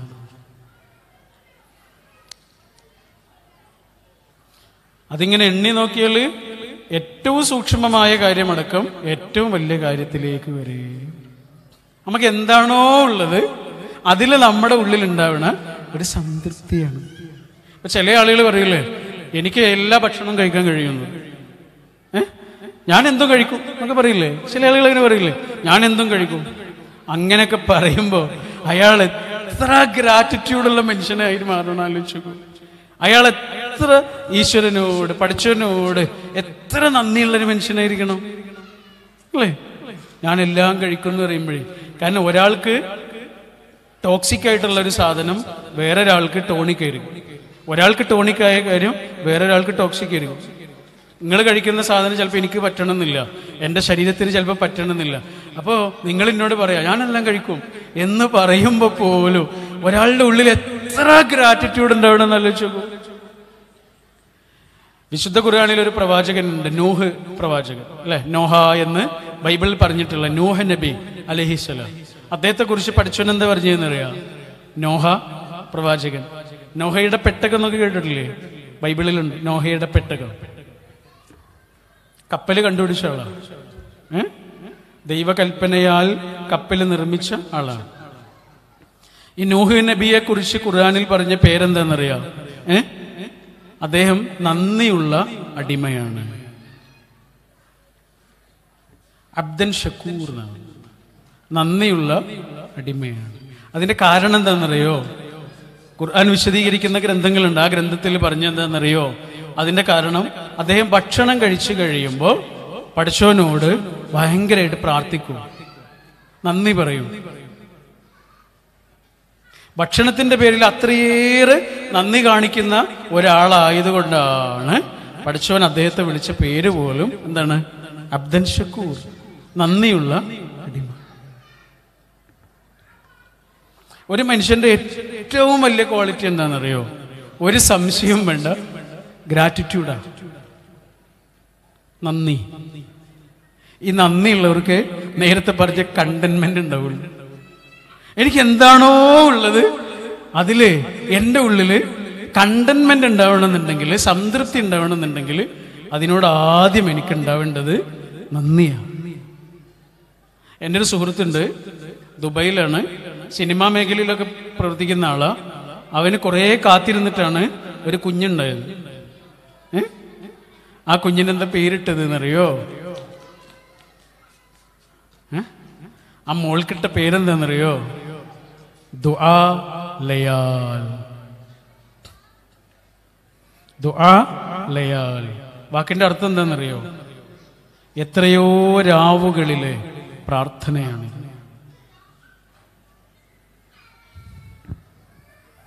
ഒരായുസ് മുഴുവനും ആ കുഞ്ഞിനെ നൽകിയവനുള്ള ഗ്രാറ്റിറ്റ്യൂഡ് ഒത്തിരി പേര്. അല്ലേ? എന്താണ്? ദുആലയാൽ എത്രയോ രാത്രികളിലെ പ്രാർത്ഥന. ആ കുഞ്ഞിന്റെ ചിരി കാണുമ്പോഴൊക്കെയും ആ കുഞ്ഞിനെ പേര് ചൊല്ലി വിളിക്കുമ്പോഴൊക്കെയും അതൊരു ദൈവസ്തുതിയായി മാറുകയാണ്. ദുആലയാൽ എത്രയോ രാത്രികളിലെ പ്രാർത്ഥനയാണ്. ബൈബിളിൽ ജോസഫ് എന്നും വിശുദ്ധ ഖുർആാനിൽ യൂസുഫ് എന്നും പറയുന്ന ഒരു പ്രവാചകനുണ്ട്. അദ്ദേഹത്തിന്റെ ജ്യേഷ്ഠന്മാർ അദ്ദേഹത്തോടുള്ള അസൂയ കാരണം കൊല്ലാൻ വേണ്ടിയിട്ട് ഒട്ടക്കിണറ്റിൽ കൊണ്ടുപോയിട്ടതാണ് പക്ഷെ അദ്ദേഹം കൊല്ലപ്പെട്ടില്ല അവിടുന്ന് രക്ഷപ്പെട്ട് പിന്നെ ഈജിപ്തിലെ മന്ത്രിയൊക്കെ ആയിട്ട് മാറുന്ന ഒരു വലിയ ചരിത്രമുണ്ട് കേട്ടോ. ഏ? ഈ യൂസുഫ് എന്ന പ്രവാചകന് പിന്നീട് ഒരു കുഞ്ഞുണ്ടായി. ആ കുഞ്ഞിനിട്ടൊരു പേരുണ്ട്. ഈ പേര് പറഞ്ഞപ്പോൾ ഓർമ്മിച്ചതാണ് കേട്ടോ. എന്താ പേരെന്നറിയോ? ആ കുഞ്ഞിന് അദ്ദേഹം ഇട്ട പേരായിരുന്നു മനാസേ. മനാസേ എന്ന് പറഞ്ഞാൽ എന്താണെന്നറിയോ? എല്ലാം മറക്കുക. കാരണം ഈ കുട്ടി വലിയ കുട്ടിയാവും. ഈ കുട്ടി വലിയ കുട്ടിയാവുമ്പോൾ നാട്ടുകാർ ഈ കുട്ടിയോട് വന്നിട്ട് പറയും നിന്റെ മൂത്താപ്പയൊക്കെ നിനക്കറിയാ? നിന്റെ ഇച്ചാപ്പയൊക്കെ നിനക്കറിയോ? ആരാന്നറിയോ? നിന്റെ വാപ്പയെ കൊല്ലാൻ നോക്കിയ ആളാ. നിന്റെ അച്ഛനെ കൊല്ലാൻ നോക്കിയ ആളാ. കൊല്ലാൻ വേണ്ടിയിട്ടേ പൊട്ടക്കിണറ്റിൽ കൊണ്ടുപോയിട്ടതാ അവരോട് പകരം ചെയ്യണം പ്രതികാരം ചെയ്യണമെന്ന് ആരെങ്കിലും ഈ കുട്ടിയോട് എന്നെങ്കിലും വന്ന് പറയുമ്പോൾ ആ കുട്ടിക്ക് പറയാനുള്ള മറുപടി എന്താണ് എന്ന് ആ കുട്ടിയുടെ പേരിനുള്ളിൽ ഒളിപ്പിച്ചു വെച്ചു. സാരില്ലടാ പോട്ടെ. അല്ലേ? മനാസ്. സാരില്ലടാ പോട്ടെ. ദുആ ലയാ. എത്രയോ രാത്രികളിൽ പ്രാർത്ഥന. നമ്മൾ മുമ്പ് എവിടെയോ പറഞ്ഞിരുന്നു. മലയാളത്തിലെ വളരെ പ്രസിദ്ധനായ ഇപ്പോൾ ഏറ്റവും കൂടുതൽ പ്രസിദ്ധനായിക്കൊണ്ടിരിക്കുന്ന ഒരു ചലച്ചിത്ര നടനെ കുറിച്ച് സിനിമാ നടനാണ് അദ്ദേഹമായിട്ടുള്ളൊരു ഇന്റർവ്യൂ ഉണ്ടായിരുന്നു. ആ ഇന്റർവ്യൂൽ അദ്ദേഹത്തോട് ഇന്റർവ്യൂ ചെയ്യുന്ന ദിവ്യ ചോദിക്കുന്നുണ്ട്. അച്ഛനെ കുറിച്ച് ചോദിച്ചു. അച്ഛനെ കുറിച്ച് വളരെ ആവേശത്തോടെ ആൾ മറുപടി പറഞ്ഞു. ഒരു സാധാരണ കുടുംബത്തിൽ നിന്ന് വന്ന ആളാണ് കേട്ടോ. അച്ഛനൊരു വക്കീലാണ് ഇരിങ്ങാലക്കുടയിൽ ഒരു സാധാരണ കുടുംബത്തിൽ നിന്ന് കഠിനാധ്വാനം കൊണ്ട് കയറി വന്ന ആളാണ്. ആരുടെയും അഡ്രസ്സിൽ കയറി വന്നതല്ല. കഠിനാധ്വാനം കൊണ്ട് കയറി വന്ന സാധാരണക്കാരനായ ഒരാളാണ്. അപ്പൊ അച്ഛനെ കുറിച്ചൊക്കെ ഭയങ്കര അഭിമാനത്തോടെ ആൾ സംസാരിച്ചു. അമ്മയെ കുറിച്ച് ചോദിച്ചു. അമ്മയെ കുറിച്ച് സന്തോഷത്തോടെ പറഞ്ഞു. പിന്നെ അവന്റെ ചേട്ടനെ കുറിച്ച് ചോദിച്ചു. ചേട്ടനെ കുറിച്ച് ആവേശത്തോടെ പറയാൻ തുടങ്ങിയപ്പോഴേക്ക് ഇവൻ കരഞ്ഞുപോയി. ഇവനെ നിയന്ത്രിക്കാൻ കഴിയാതെ ഇവന്റെ ചങ്കിടറി ടിഷ്യൂ കൊണ്ട് ഇങ്ങനെ കണ്ണൊക്കെ തുടച്ചിട്ട് അവൻ പറയാണ് അവനെ കുറിച്ച് പറയാൻ തുടങ്ങുമ്പോഴൊക്കെ എനിക്ക് സങ്കടം വരും. അവനെ കുറിച്ച് പറഞ്ഞു തുടങ്ങുമ്പോഴേക്ക് എനിക്ക് സങ്കടം വരും. അതിന്റെ കാരണം എന്താണെന്നറിയോ? ഇവൻ എഞ്ചിനീയറിങ് കഴിഞ്ഞ് നല്ല ജോലിയൊക്കെ കിട്ടിയിരുന്നു. ആ ജോലിയൊക്കെ രാജിവെച്ച് ഇവന് സിനിമാ നടനാകണം എന്നുള്ള ആഗ്രഹം കൊണ്ട് സിനിമയുടെ പിന്നാലെ കൂടിയത് ആ സമയത്ത് ഇവന്റെ കയ്യിൽ പൈസയൊന്നുമില്ല. ഇവന്റെ ബൈക്കിന് പെട്രോൾ അടിക്കണം. ഓരോ യാത്രയ്ക്കും പൈസ ആവശ്യമുണ്ട്. ഇങ്ങനെ പല കാര്യങ്ങൾക്കും പൈസ ആവശ്യമില്ലേ? ആ സമയത്ത് ഇവന്റെ കയ്യിലേക്ക് എല്ലാ മാസവും ഒരാൾ കൃത്യമായി നാല് നാലായിരം രൂപ വെച്ചു കൊടുക്കും. നാലായിരം രൂപ. അത് മതി. എമ്പാടും അത് മതി. അതാരായിരുന്നു എന്നറിയോ ഇവന്റെ ഈ ചേട്ടൻ. പക്ഷെ ചേട്ടൻ അന്ന് എത്രയായിരുന്നു ശമ്പളം എന്നറിയോ? ഒൻപതിനായിരം രൂപ. ആകെ ഒൻപതിനായിരം രൂപ കിട്ടുന്ന ഒരാൾ ഏ? നാലായിരം രൂപ സ്വന്തം അനുജന്റെ കിനാവുകൾക്ക് ഒരു താങ്ങാവാൻ നാലായിരം രൂപ ഇങ്ങനെ കയ്യിൽ വെച്ച് കൊടുത്ത കഥ. ഈ അനിയൻ എപ്പോഴാ പറയുന്നതെന്നറിയോ? കോടികൾ ശമ്പളം വാങ്ങുന്ന കാലത്ത്. കോടികൾ ശമ്പളം വാങ്ങുന്ന കാലത്ത് പഴയ നാലായിരത്തിന്റെ കഥ പറഞ്ഞ് കണ്ണു നിറയുന്നതിന്റെ പേരാണ് ഗ്രാറ്റിറ്റ്യൂഡ് അതെല്ലാവർക്കും ഉണ്ടാവില്ല.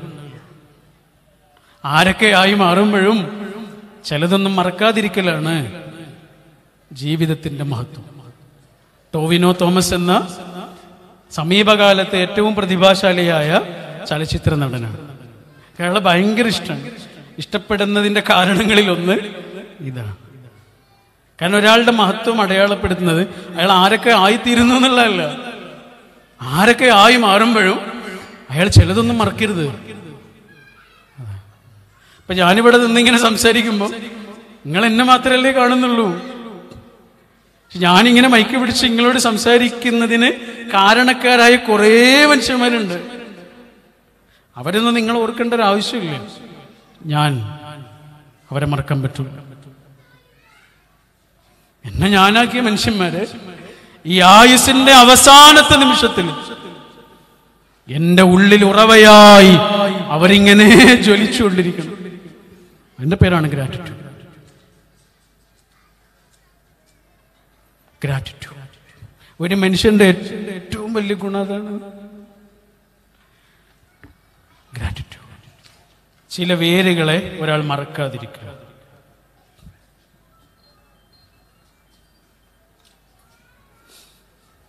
അപ്പൊ നമുക്ക് എന്താണോ ഉള്ളത്? അതിലൊരാൾക്ക് ഗ്രാറ്റിറ്റ്യൂഡ് ഉണ്ടാകുമ്പോഴേ പഠിച്ചവനോടും മനുഷ്യന്മാരോടും എല്ലാവരോടും നമ്മുടെ ഉള്ളിലൊരു നന്ദി ഉണ്ടാകുമ്പോഴേ നമുക്ക് ഉള്ളതിലൊരു സന്തോഷം ഉണ്ടാവും അല്ലെങ്കിൽ ഉണ്ടാവില്ല. നമ്മൾ ഭക്ഷണം കഴിക്കുമ്പോൾ പോലും നേരത്തെ പറഞ്ഞില്ലേ ഭക്ഷണം കഴിക്കുന്ന ഓരോ നിമിഷവും ഈശ്വരനോട് എത്ര നന്ദിയുള്ളവരായിരിക്കണം. അല്ലേ? എന്നിട്ട് നമ്മൾ എന്താ ചെയ്യുന്നത്? ഭക്ഷണം കഴിച്ചുകൊണ്ടിരിക്കുമ്പോൾ ഇപ്പുറത്ത് മൊബൈൽ ഫോണിലേക്ക് നോക്കിയിട്ടാണ് കഴിച്ചുകൊണ്ടിരിക്കുന്നത്. നമ്മളത് ആസ്വദിക്കുന്നവരുമില്ല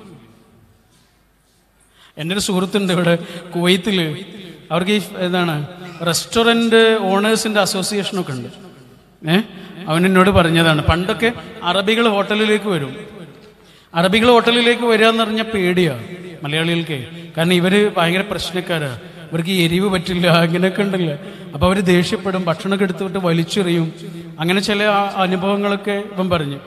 പക്ഷേ ഇപ്പൊ അതില്ല അറബികൾ വന്നാൽ വളരെ സമാധാനത്തോടെ വളരെ ശാന്തരായി ഭക്ഷണം കഴിച്ചിട്ട് അവർ പോകും. എന്താ കാരണം എന്നറിയോ? കാരണം പറഞ്ഞപ്പോഴേ രസം. എന്താ?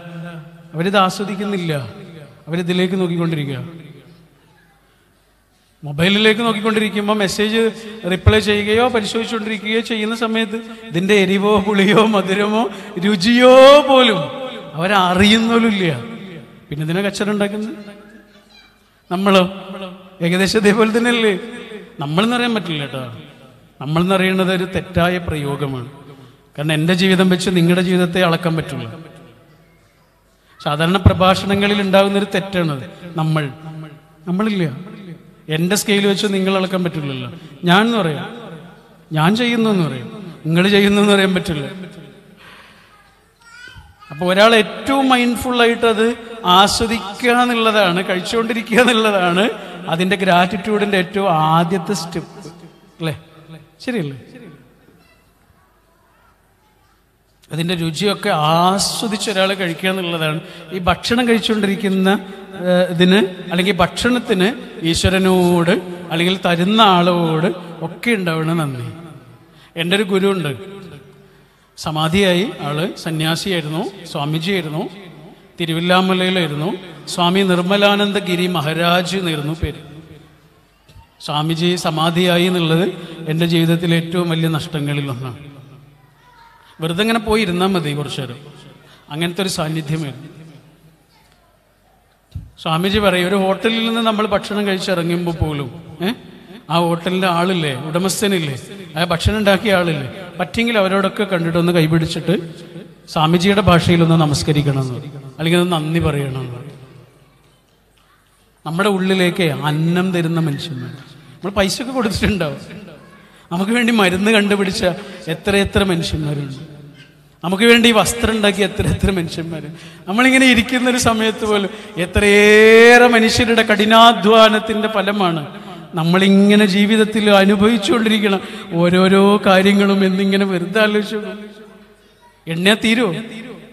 ഇതിന്റെയൊക്കെ അപ്പുറം ഒരു വലിയ മഹാശക്തിയുടെ കരുണാപ്രവാഹവും ഓരോ നിമിഷവും അനുഭവിച്ചുകൊണ്ടിരിക്കുന്ന ആളുകൾ നമ്മുടെ അഹങ്കാരത്തിന്റെ മിനാരങ്ങളൊക്കെ അഹങ്കാരത്തിന്റെ വലിയ വലിയ ഉയർച്ച തോന്നുന്ന അനുഭവങ്ങളൊക്കെ ഇല്ലാതാക്കാനുള്ള ഒന്നാമത്തെ സ്റ്റെപ്പ് അത്.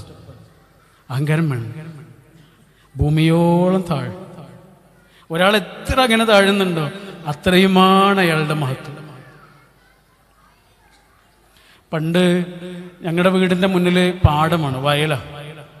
കിഴക്കേപ്പുറം എന്നാണ് അവിടെ പറയുക അപ്പോൾ കിഴക്കേപ്പുറം വയലിലേക്ക് ഇറങ്ങുന്ന സമയത്ത് രാത്രിയാണെങ്കിൽ എന്തെങ്കിലും ആവശ്യങ്ങൾ ഉണ്ടെങ്കിൽ പോകുമ്പോൾ ഉമ്മ പറയും കയ്യിൽ ടോർച്ചൊക്കെ ഉണ്ടാവും എന്നാലും ഉമ്മ പറയും കാക്കക്ക് നോക്കണേ എന്ന് പറയുന്നു എനിക്ക് ആദ്യം മനസ്സിലായി. കാക്ക എന്നാണ് ഞാൻ വിചാരിച്ചത്. ഈ കാക്കയെ നോക്കണം? അങ്ങനെ എന്താണെന്ന് വിചാരിച്ചു. ഉമ്മ ഉദ്ദേശം എന്താണെന്ന് അറിയോ കാൽക്കൾക്ക് നോക്കണേ എന്നാണ്. അതിൽ ലേ വിട്ട് കാണ കേൾക്കില്ല? കാക്കക്ക് നോക്കണേ എന്നാണ് അന്ന് ഉമ്മ പറഞ്ഞത് ചെറിയൊരർത്ഥേ അതിനുണ്ടായിരുന്നു. ഇന്ന് എനിക്ക് മനസ്സിലാകുന്നുണ്ട് അതിന്റെ വിപുലമായ അർത്ഥം എന്താണ്.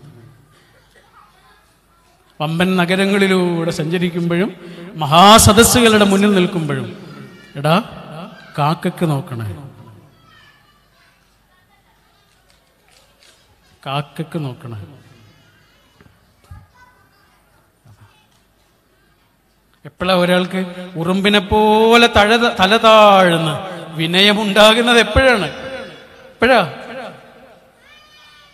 അയാൾക്ക് ചിലതൊന്നും മറക്കാതിരിക്കുമ്പോഴാണ് അതുകൊണ്ടാണ് മലയാളത്തിൽ ഏറ്റവും പ്രസിദ്ധമായ ഒരു ഡിക്ഷണറി ഉണ്ട്. മലയാള ഭാഷയുടെ ഡിക്ഷണറി കേട്ടോ ഏ?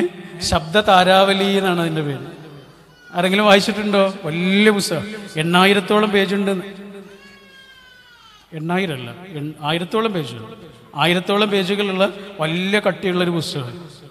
ഒരാൾ ഇരുപത്തിമൂന്ന് കൊല്ലത്തിലേറെ അധ്വാനിച്ച് ശ്രീകണ്ഠേശ്വരം പത്മനാഭ പിള്ള എന്ന് പറഞ്ഞൊരു മനുഷ്യൻ ഒരു ഡിക്ഷണറി ഉണ്ടാക്കാൻ വേണ്ടിയിട്ട് താജ്മഹൽ ഉണ്ടാക്കാൻ വേണ്ടി അത്രയേറെ മനുഷ്യന്മാർ എത്ര കാലമാണോ കഷ്ടപ്പെട്ടത് അത്രയും കാലം ഒരാൾ ഒരു പുസ്തകം എഴുതാൻ വേണ്ടി കഷ്ടപ്പെട്ടുണ്ടാക്കിയ പുസ്തകത്തിന്റെ പേരാണ് ശബ്ദ താരാവലി വല്ലാത്തൊരു പുസ്തകം കേട്ടോ. അതിന്റെ തുടക്കത്തിൽ അദ്ദേഹം പറയുന്നുണ്ട് ഈ പുസ്തകത്തിൽ സുഖം എന്നൊരു വാക്കുണ്ട്. സുഖം. ആ വാക്കിന്റെ അർത്ഥമുണ്ട്. പക്ഷെ ജീവിതത്തിൽ ഒരിക്കലും അത് അനുഭവിച്ചിട്ടില്ലാത്ത ഒരാളാണ് ഈ പുസ്തകം എഴുതിയത് എന്ന് ഇതിന്റെ ഓരോ പേജ് മറിക്കുമ്പോഴും നിങ്ങൾ ആലോചിക്കണേ.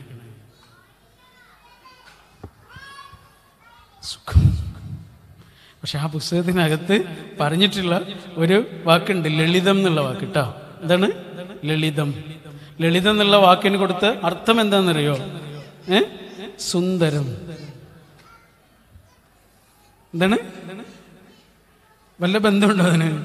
ലളിതം എന്നുള്ള വാക്കിന് കൊടുത്ത കുറച്ച് അർത്ഥങ്ങളുണ്ട് മൂന്നാൽ അർത്ഥങ്ങളുണ്ട്. അതിൽ ഒരർത്ഥം എന്താണ്? സുന്ദരം ബ്യൂട്ടിഫുൾ കാരണം എന്താണെന്നറിയോ? ലളിതമായതൊക്കെ സുന്ദരമാണ്.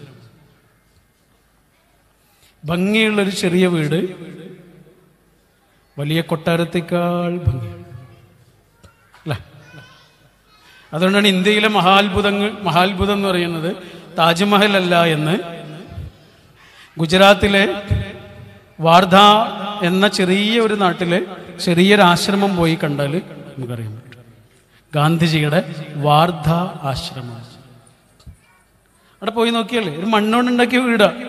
മണ്ണ് കൊണ്ടുണ്ടാക്കിയ വീട് കണ്ടാലറിയാം ഇന്ത്യയിലെ മഹാത്ഭുതം താജ്മഹൽ അല്ല എന്നും ഗാന്ധിജിയുടെ വാർധയിലെ ആശ്രമമാണ്.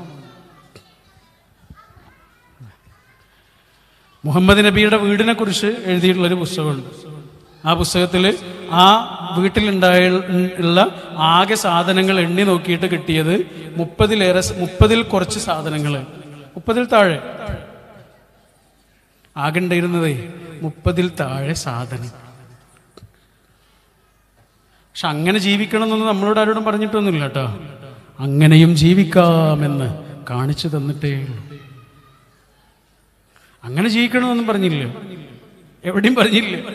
അങ്ങനെയും ജീവിക്കാമെന്ന് പറഞ്ഞു തരികയാണ് ചെയ്തിട്ടുള്ളത്. വലിയ വലിയ മനുഷ്യന്മാരൊക്കെ ദാരിദ്ര്യത്തെ സ്വയം ഭരിച്ച മനുഷ്യന്മാർ. ഇന്ത്യയ്ക്ക് സ്വാതന്ത്ര്യം കിട്ടിയപ്പോൾ എല്ലാവരും വിചാരിച്ചത് ഗാന്ധിജി രാഷ്ട്രപതിയാകുന്നായിരുന്നു. രാഷ്ട്രപതി ഭവൻ എന്ന് പറഞ്ഞാൽ ഇന്ത്യയിലെ ഏറ്റവും വലിയ കെട്ടിടങ്ങളിൽ ഒന്നാണ്. പക്ഷെ അത് ഉപേക്ഷിച്ച് ദാരിദ്ര്യത്തെ സ്വയം ഭരിച്ച മനുഷ്യന്റെ പേരായിരുന്നു ഗാന്ധിജി. കാരണം അവർക്കറിയാം ദാരിദ്ര്യം എന്ന് പറഞ്ഞാൽ ഭയങ്കര മഹത്വമുള്ളൊരു കാര്യമാണ്. അത് ദാരിദ്ര്യം അനുഭവിച്ചവർക്കൊക്കെ അറിയാം. കുറെ കാലം കഴിഞ്ഞിട്ട് തിരിഞ്ഞു നോക്കുമ്പോഴേ നമുക്ക് മനസ്സിലാവും. ദാരിദ്ര്യം ഭയങ്കര മഹത്വമുള്ളൊരു കാര്യമാണ്. എന്റെ ജീവിതത്തിൽ ഞാൻ ദാരിദ്ര്യം അനുഭവിച്ചു ഉപ്പാക്ക് ഏറ്റവും വിഷമമുള്ള കാലത്തായിരുന്നു എന്റെ കുട്ടിക്കാലം. ഇങ്ങനെ തിരിഞ്ഞു നോക്കുമ്പോൾ ഇങ്ങനെ മനസ്സിലാകുന്നുണ്ട്. ദാരിദ്ര്യത്തിന്റെ മഹത്വം എന്തായിരുന്നു?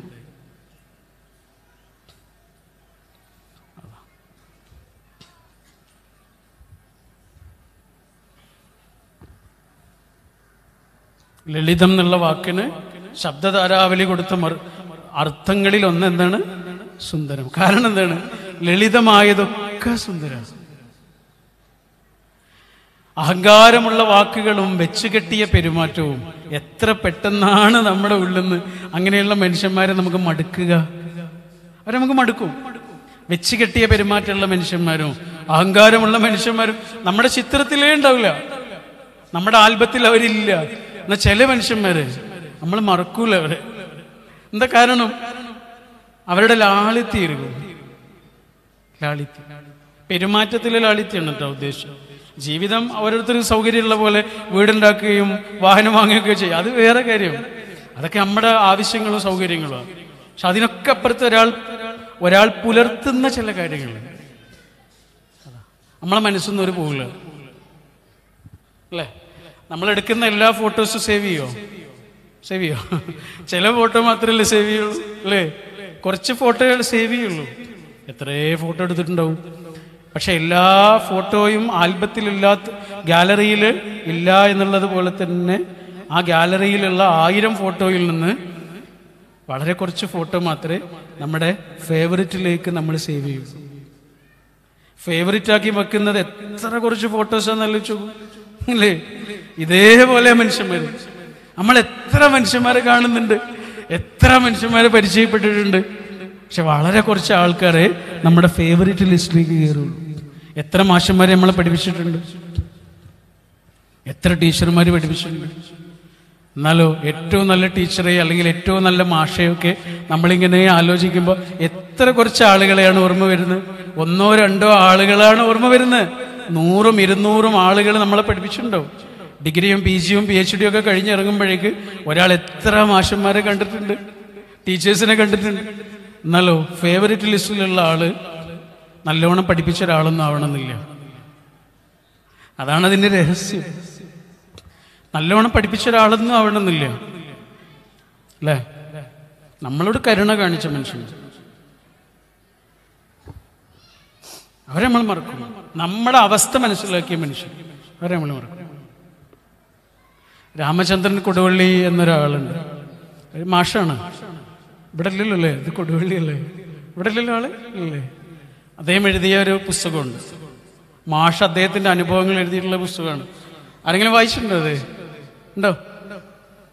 ഈ മാഷ് ഒരു ദിവസം ക്ലാസ്സിലേക്ക് ഒരു കുട്ടിയുണ്ട്. എല്ലാ ദിവസവും വൈകിട്ടോ വൈകിയാണ് അവൻ വരുന്നത്.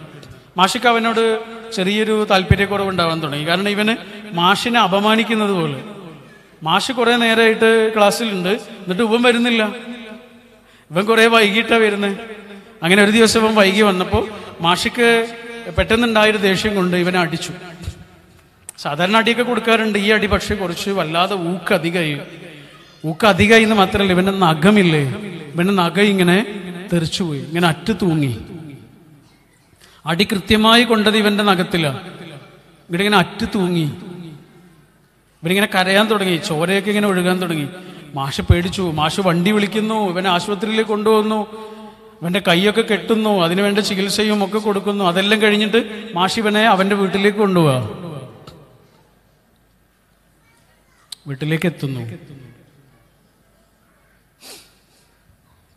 വാതിൽ തുറക്കാൻ പോലും അവിടെ ആരുമില്ല. ഇവൻ തന്നെ വാതിൽ തുറക്കുന്നു. ജനലിലൂടെ ഒക്കെ കൈയിട്ടിട്ടായിരിക്കും തുറക്കുന്നത്. അങ്ങനെ തുറന്ന് മാഷോട് അകത്തേക്ക് ഇരിക്കാൻ പറഞ്ഞു. ഇവൻ ഇതുവരെ മാഷോട് ഒന്നും പറഞ്ഞില്ല. ഒരു പരാതി പറഞ്ഞില്ല. എന്തിനാണ് അടിച്ചതെന്ന് ചോദിച്ചിട്ടില്ല. എനിക്ക് വേദനയുണ്ട് എന്ന് പോലും ഇവൻ പറഞ്ഞിട്ടില്ല. പക്ഷെ ആ വീടിനകത്തേക്ക് കയറിയപ്പോൾ മാഷ് കാണുന്നത് വയ്യാതെ കിടക്കുന്ന ഒരമ്മയാണ്. ഒന്ന് എണീക്കാൻ പോലും കഴിയാത്ത ചെരിഞ്ഞു കിടക്കാൻ പോലും കഴിയാത്തൊരമ്മയാണ് ആ അമ്മയ്ക്ക് വേണ്ടതൊക്കെ ചെയ്തു കൊടുക്കുന്നത് ഇവനാണ്. ഈ ആറാം ക്ലാസ്സിൽ പഠിക്കുന്ന കുട്ടി പിന്നെ ഒരു പശുവുണ്ട് അതിനെ കറന്നെടുത്ത് അതിന്റെ പാൽ സൊസൈറ്റിയിൽ കൊണ്ടുപോയി വിറ്റ് കൊടുത്ത് അമ്മയ്ക്ക് വേണ്ടത് മുഴുവനും കാര്യങ്ങളും ചെയ്തിട്ട് പുസ്തകവും പാത്രകവും പാത്രവും എടുത്തിട്ട് സ്കൂളിലേക്ക് ഓടി വരുന്ന കുട്ടിയില്ലേ? ചിലപ്പോൾ അഞ്ച് മിനിറ്റ് വൈകുമെന്ന്. മാഷിക്ക് അന്ന് മനസ്സിലായി. ഒരു സ്കെയിൽ വെച്ച് എല്ലാ കുട്ടികളെയും അളക്കാൻ പറ്റൂല എന്ന് മാഷിക്ക് അന്ന് മനസ്സിലായി. എല്ലാ കുട്ടികൾക്കും കൊടുത്തത് ഒരേ ഹോംവർക്ക് തന്നെ ആയിരിക്കും പക്ഷെ എല്ലാവരുടെ വീടും എല്ലാവരുടെ അവസ്ഥയും ഒന്നല്ല എന്ന് മാഷക്ക് അന്ന് കിട്ടിയൊരു വെളിച്ചം. ആ മാഷ ഈ കുട്ടി മറക്കില്ല എന്റെ ഒരു സുഹൃത്തുണ്ട് അവൾ ബേപ്പൂരാ വീട്. ബേപ്പൂരിൽ നിന്ന് പയ്യന്നൂരാണ് അവൾ പി ജി ചെയ്യുന്നത്. പയ്യന്നൂരെത്തും എല്ലാ ദിവസവും പോയി വരുക രാവിലെ അഞ്ചു മണിക്കൊക്കെ ഇറങ്ങും വൈകിട്ട് പത്ത് മണിക്കൊക്കെ തിരിച്ചു വരും. അവൾക്കൊരു മൂന്ന് വയസ്സുള്ള മോളുണ്ട്. അതുകൊണ്ട് ഇവൾ ഹോസ്റ്റലിൽ നിൽക്കുന്നില്ല. കാരണം എല്ലാ ദിവസവും പോയിട്ട് വരും. കുട്ടിക്ക് കുട്ടിയെ നോക്കാനുള്ളതുകൊണ്ട്. അപ്പൊ ഇവളുടെ ഒരു ദിവസം ഏകദേശം ബസ്സിലോ ട്രെയിനിലോ കയറും ഇവൾ പഠിക്കുന്നത് കൗൺസിലിംഗ് സൈക്കോളജിയാണ് ഒരു ദിവസം ടീച്ചർ ക്ലാസ് എടുക്കുന്നത് ടൈം മാനേജ്മെന്റിനെ കുറിച്ചായിരുന്നു. ടൈം മാനേജ്മെന്റിനെ കുറിച്ച്. ഒരു ദിവസത്തെ ടൈം എങ്ങനെയൊക്കെയാണ് ഡിവൈഡ് ചെയ്യേണ്ടത് എങ്ങനെയൊക്കെയാണ് ഉപയോഗിക്കേണ്ടത് എന്നൊക്കെയല്ലേ പഠിപ്പിക്കുക. ഇതൊക്കെ കേട്ട് കേട്ടിട്ട് ഇവക്ക് സങ്കടമായി കാരണം ഇവളുടെ ഒരു ദിവസമല്ലേ ഒന്നിനും ഉപയോഗിക്കാൻ പറ്റുന്നില്ല. അവളുടെ മോളുടെ കഥകൾ കേട്ടിരിക്കാൻ പോലും കഴിയുന്നില്ല. അവളുടെ മോൾക്ക് വേണ്ട സമയം കൊടുക്കാൻ കഴിയുന്നില്ല. ഇതൊക്കെ ആലോചിച്ചിട്ട് ഇവക്ക് സങ്കടമായി അവളിങ്ങനെ കൈമറിച്ചിട്ട് ഇങ്ങനെ കണ്ണ് നിറയാൻ തുടങ്ങി ഇവൾ. തൊട്ടടുത്തിരിക്കുന്ന കുട്ടി പോലും അറിയരുത് എന്ന് വിചാരിച്ചിട്ട് ഇങ്ങനെ കൈവച്ചിട്ട് ഇവൾ കരയാൻ തുടങ്ങി. അപ്പൊ ഒരാളിങ്ങനെ വന്നിട്ടേ അവളുടെ മെല്ലെ വന്നിട്ട് അവളെ ഇങ്ങനെ തൊട്ടു. എന്നിട്ട് പുറത്തിങ്ങനെ ഒഴിഞ്ഞു. അവളിങ്ങനെ പിടിച്ചിട്ട് ഇങ്ങനെ ആശ്വസിപ്പിക്കുന്നുണ്ട് ഒരാൾ അയാൾക്ക് മനസ്സിലായി ഇവളെ. അവളിങ്ങനെ മെല്ലെ നോക്കുമ്പോൾ ആരായിരുന്നു എന്നറിയാം ക്ലാസ് എടുത്തുകൊണ്ടിരുന്ന ടീച്ചർ ആ ടീച്ചറെ ആ കുട്ടി ഒരിക്കലും മറക്കില്ല അല്ലേ? ടീച്ചർ പഠിപ്പിച്ചതൊക്കെ ചിലപ്പോൾ മറക്കും. പക്ഷെ ആ മൊമെന്റ് ഒരിക്കലും മറക്കും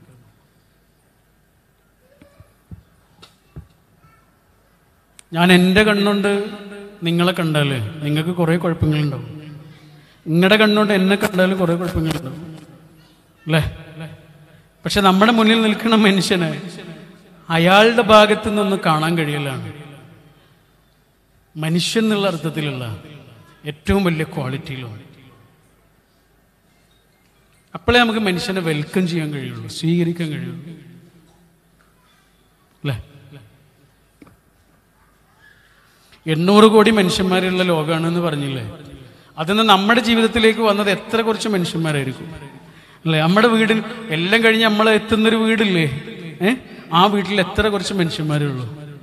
എണ്ണൂറ് കോടി മനുഷ്യന്മാരുള്ള ലോകത്ത് നമ്മുടേത് എന്ന് പറഞ്ഞിട്ട് ആ വീടിന്റെ ഓരോ റൂമിൽ കിടന്നുറങ്ങുന്ന മനുഷ്യന്മാർ എത്ര കുറച്ചാണ്. ആ മനുഷ്യന്മാർക്ക് വേണ്ടത് എന്താണോ അത് കൊടുക്കാൻ കഴിയണം. വേറെ നമ്മൾ വേറെ എന്ത് പറഞ്ഞിട്ടും കാര്യമില്ല. ശാന്തമായി ഉണരാനുള്ള രണ്ടാമത്തെ മരുന്നതാണ്. നമ്മുടെ ബന്ധങ്ങളില്ലേ? ആ ബന്ധങ്ങൾക്ക് നമ്മൾ കൊടുക്കണ വിലയാണ് ഹാർഡ്വാർഡ് യൂണിവേഴ്സിറ്റിയിൽ നടന്നിട്ടുള്ള ഒരു പഠനം ഉണ്ടാവും ഒരു പക്ഷേ നിങ്ങൾ കേട്ടതായിരിക്കും. കഴിഞ്ഞ എഴുപത്തഞ്ച് കൊല്ലമായിട്ട് അവർ പഠിച്ചുകൊണ്ടിരിക്കുക ഏഹ് കുറേ മനുഷ്യന്മാരിലൂടെ അവർ പഠിച്ചുകൊണ്ടിരിക്കുക സർവേ നടത്തിക്കൊണ്ടിരിക്കുക. ആ സർവേ നടത്തിക്കൊണ്ടിരിക്കുന്ന മനുഷ്യന്മാരിൽ ഇപ്പം ആകെ ഇരുപത് ആളുകളെ ജീവിച്ചിരിപ്പുള്ളൂ. തൊള്ളായിരത്തി നാൽപ്പതുകളിൽ തുടങ്ങിയ പഠനമാണ് തൊള്ളായിരത്തി നാൽപ്പതുകൾ മുതലുള്ള കുറേ മനുഷ്യന്മാര്. അത് വലിയ പൈസക്കാരായ ആളുകളുണ്ട് വലിയ മത നേതാക്കളുണ്ട് അതുപോലെ രാഷ്ട്രീയ നേതാക്കളുണ്ട് ദരിദ്രരുണ്ട് സാധാരണക്കാരുണ്ട് കൂലിവേല ചെയ്യുന്നവരുണ്ട്. ഡ്രൈവർമാരുണ്ട് എഞ്ചിനീയർമാരുണ്ട് ഡോക്ടർമാരുണ്ട് സമൂഹത്തിന്റെ എല്ലാ ഭാഗങ്ങളിലുള്ള മനുഷ്യന്മാരെ ഇവർ പഠിച്ചുകൊണ്ടിരിക്കുക ഇപ്പാകെ ഇരുപതാളുകളെ ബാക്കിയുള്ളൂ. അതിന് നേതൃത്വം കൊടുത്തതോ ഒക്കെ ആയിട്ടുള്ള ആളുകൾ അവർക്കിപ്പോൾ ഒന്നിനും കഴിയില്ല പക്ഷെ കുറച്ച് ആളുകൾ പത്രി ഉണ്ടാവില്ല എന്ന് തോന്നുന്നു. അവർക്ക് ബാക്കിയുള്ള മനുഷ്യർ പക്ഷെ ആ പഠനം എന്താണെന്നറിയോ മനുഷ്യന്മാർക്ക് ശരിക്കും സമാധാനം കിട്ടുന്നത് എന്തുകൊണ്ടാണ്? എങ്ങനെയാണ് എന്താണ് സമാധാനത്തിനുള്ള വഴി? പൈസയാണോ? സൗകര്യങ്ങളാണോ? വലിയ വീടാണോ? അതല്ലെങ്കിൽ അതുപോലെയുള്ള സൗകര്യങ്ങളോ ജീവിതത്തിൽ കിട്ടുന്ന എന്താ പ്രിവിലേജോ ഇതൊക്കെയാണോ? എന്താണ് മനുഷ്യന് അടിസ്ഥാനപരമായി ഉള്ളിലൊരു ഒരു സമാധാനം അനുഭവിക്കാനുള്ള വഴി എന്താണ്? ഒരു കണ്ടെത്തി എന്താണെന്നറിയോ? നമുക്കുള്ള മനുഷ്യന്മാരില്ലേ? ബന്ധങ്ങളില്ലേ? ആ ബന്ധങ്ങളെ ഊഷ്മളമായി കേടുപറ്റാതെ. ഒരാൾ എത്ര കണ്ട് അതൊക്കെ നിലനിർത്താനും കേടുപറ്റാതിരിക്കാനും ഒരാൾ ശ്രദ്ധിക്കുന്നുണ്ടോ? അത്രയുമാണ്. അതാണ്. അങ്ങനെയുള്ളവർക്കാണ് സമാധാനമായിട്ട് കിടന്നുറങ്ങാൻ കഴിയുക. ഞാൻ പറയണല്ലോ കഴിഞ്ഞ എഴുപതിലേറെ കൊല്ലമായി ഒരു യൂണിവേഴ്സിറ്റിയിലെ സോഷ്യോളജി വിഭാഗം പഠിച്ചുകൊണ്ടിരിക്കുന്ന ഒരു സർവേയിൽ നിന്ന് അവർ കണ്ടെത്തിയ കാര്യമാണ് പറയുന്നത്. നമ്മളെല്ലാം കഴിഞ്ഞിട്ട് അവസാനം എത്തുന്ന ആ ചെറിയ വീടില്ലേ? അല്ലെങ്കിൽ ആ വലിയ വീടില്ലേ? ആ വീടിന്റെ ഓരോ റൂമിൽ കിടന്നുറങ്ങുന്ന മനുഷ്യന്മാരില്ലേ? നാലോ അഞ്ചോ മനുഷ്യന്മാരല്ലേ ഉള്ളൂ. അല്ലേ? അവർ സമാധാനത്തോടെ ജീവിക്കണം. അതിന് ഞാൻ എന്താണ് ചെയ്യേണ്ടത്? അത് ഞാൻ ചെയ്യണം. നമ്മൾ ചെടി നനക്കുമ്പോൾ ചെടി നനക്കുമ്പോൾ എവിടെയാണ് വെള്ളം ഒഴിക്കുക? എവിടെ ഒഴിക്കുക? ഇലയിലാണോ? എവിടെ എവിടെ നിൽക്കുക? ഏ? അടിയിൽ ചെടി ആ ചെടി വെക്ക് വെള്ളം നനക്കുമ്പോ എവിടെയാണ് വെള്ളം നനക്കുക ഇലയിലാണോ? പൂക്കളിലാണോ? എവിടെ? വേരിൽ. മണ്ണിലാണ്. മണ്ണിൽ നനക്കുന്ന എന്തുണ്ടാ മണ്ണിന്റെ ഉള്ളിലാണല്ലോ വേര് അല്ലേ? ഈ ചെടിക്ക് കാരണക്കാരായ ആളുകളെ കാണുന്നില്ല. ഒരു ഉള്ളില. അല്ലേ? പൂവറിയില്ല വേരറിഞ്ഞ കയ്പുകൾ എന്നൊരു കവിതയുണ്ട്. പൂവിന് മനസ്സിലാവില്ല. വേരെത്ര കഷ്ടപ്പെട്ടിട്ടുണ്ട്. എന്നിട്ടോ കാണുന്നുണ്ടോ? ആരും കാണുന്നില്ല അല്ലേ? ചെടി നനയ്ക്കുമ്പോൾ എവിടെയാ നനക്കുക ഞാൻ ഈ ഇത്രയും നേരം പറഞ്ഞതൊക്കെ നിങ്ങൾ മറന്നോളൂ കേട്ടോ ഇനി ഇത് മാത്രം ആലോചിച്ചാൽ മതി. ഓക്കെ? ഇങ്ങോട്ട് വരുമ്പോ എന്റെ മനസ്സിലുണ്ടായ ആശയമാണ്. അതുകൊണ്ടാ. ഏ? ചെടി നനയ്ക്കുമ്പോ എവിടെയാണ് വെള്ളം നനയ്ക്കുക? വേരിലാണ് വെള്ളം നനയ്ക്കുക. വേരിൽ വെള്ളം നനച്ചാലുള്ള ഗുണം എന്താണ്? അത് ഇലയിലെത്തും പൂക്കളിലെത്തും മുട്ടിലെത്തും തണ്ടിലെത്തും എല്ലായിടത്തും എത്തും. ഒരാൾ പൂക്കളിലാണ് വെള്ളം നനയ്ക്കുന്നതെങ്കിലോ അത് എവിടെ എത്തൂല? അവിടെ മാത്രമേ ഉണ്ടാവുള്ളൂ. അതിന് പോലൊരു കാര്യം ഉണ്ടാവില്ല.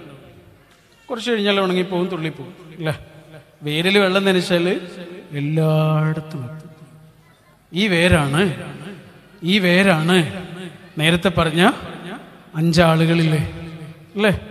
ആ വീട്ടിലെ ഓരോ റൂമിൽ കിടന്നുറങ്ങുന്ന മൂന്നാളുകളോ അഞ്ചാളുകളോ പത്താളുകളോ അഞ്ച് ആറാളുകളോ രണ്ടാളുകളോ ഇല്ലേ? ഇല്ലേ? നമ്മുടെ കുടുംബമില്ലേ? അവർ. അതാണ് നമ്മുടെ വീട്. അവിടെ സമാധാനം ഇല്ലെങ്കിൽ ഒരാൾക്ക് വേറെ എവിടെയും സമാധാനം കിട്ടാൻ പോകുന്നില്ല എന്റെ കുടുംബത്തിൽ എനിക്ക് സമാധാനമില്ല എങ്കിൽ എനിക്കിതും പിടിച്ചുകൊണ്ട് സമാധാനമായിട്ട് നിങ്ങളോട് വർത്തമാനം പറയാൻ കഴിയും. നിങ്ങളുടെ വീട്ടിൽ നിങ്ങൾക്ക് സമാധാനമില്ല എങ്കിൽ നിങ്ങൾക്ക് ഇങ്ങനെ ശാന്തമായി ഇരിക്കാനും കഴിയും. ഒരു മുഖ്യമന്ത്രിക്ക് ഭരിക്കാൻ കഴിയില്ല. ഒരു എഞ്ചിനീയർക്ക് അയാളെ കാര്യം ചെയ്യാൻ കഴിയില്ല. ഒരു മാഷിന് നന്നായി പഠിപ്പിക്കാൻ കഴിയില്ല. ഒരു ഭരണാധികാരിക്ക് നന്നായിട്ട് അയാളുടെ ജോലി ചെയ്യാൻ കഴിയില്ല. ഒരു ഡോക്ടർക്ക് അയാൾക്ക് സ്വസ്ഥമായി ജോലി ചെയ്യാൻ കഴിയില്ല. ഒന്നും നടക്കാൻ പാടില്ല. അതുകൊണ്ടേ ഞാൻ എന്റെ സമയത്തിൽ ഏറ്റവും നല്ല സമയം ഞാൻ എന്റെ ശ്രദ്ധയിൽ ഏറ്റവും നല്ല ശ്രദ്ധ ഞാൻ എന്റെ സ്നേഹത്തിന്റെ ഏറ്റവും നല്ല സ്നേഹം അതാണ് എന്റെ വെള്ളം. ആ വെള്ളം കൊടുക്കേണ്ടത് ആർക്കാന്നറിയോ എന്റെ വേരിനാണ്. പക്ഷെ ഞാനെന്ന ചെടിക്ക് വേര് മാത്രമൊന്നുമില്ല. വേറെ പലതുണ്ട്. പൂക്കളുണ്ട് ഇലകളുണ്ട് തണ്ടുണ്ട് ഇതൊക്കെ ഉണ്ട് ചങ്ങാതിമാരുണ്ട് കൂട്ടുകാരുണ്ട് ക്ലാസ്മേറ്റ്സ് ഉണ്ട് പിന്നെ അയൽക്കാരുണ്ട് രാഷ്ട്രീയക്കാരുണ്ട് സാമൂഹ്യ പ്രവർത്തകരുണ്ട്. ഓരോരോ സംഘടനകളിൽ എന്റെ കൂടെ ജോലി ചെയ്യുന്നവരൊക്കെ ഉണ്ട്. അതൊക്കെ ഈ ചെടിക്ക് ആവശ്യം തന്നെയാണ്. പക്ഷേ വേരുണങ്ങിയാൽ എന്റെ വീട്ടിൽ സമാധാനം ഇല്ലെങ്കിൽ എനിക്കൊരു നല്ല സുഹൃത്താകാൻ കഴിയില്ല എനിക്കൊരു നല്ല രാഷ്ട്രീയക്കാരനാകാൻ കഴിയില്ല എനിക്കൊരു നല്ല സാമൂഹ്യ പ്രവർത്തകനാകാനോ സാമൂഹിക ജീവിയാകാനോ കഴിയില്ല. ഒരു വർഷം അവസാനത്തിന്റെ തുമ്പിൽ നിൽക്കുന്ന ദിവസം. ഒരു വർഷം അവസാനിച്ച് അതിന്റെ ഇങ്ങനെ അറ്റത്ത് നിന്നുകൊണ്ടിരിക്കുന്ന ഈ ദിവസ സമയങ്ങളിൽ നമ്മൾ ആ പിന്നെയും പിന്നെയും ആലോചിക്കേണ്ടത് നമ്മുടെ പേരെന്തായി എന്നുള്ളത് പൂക്കൾ എന്തായി എന്നല്ല ചെടികൾ എന്തായി നമ്മുടെ കൂടെയുള്ള മനുഷ്യന്മാർക്ക് നമ്മൾ കാരണം ജീവിതം മടുത്തിട്ടുണ്ടോ? നമ്മൾ കാരണം സമാധാനം പോയിട്ടുണ്ടോ?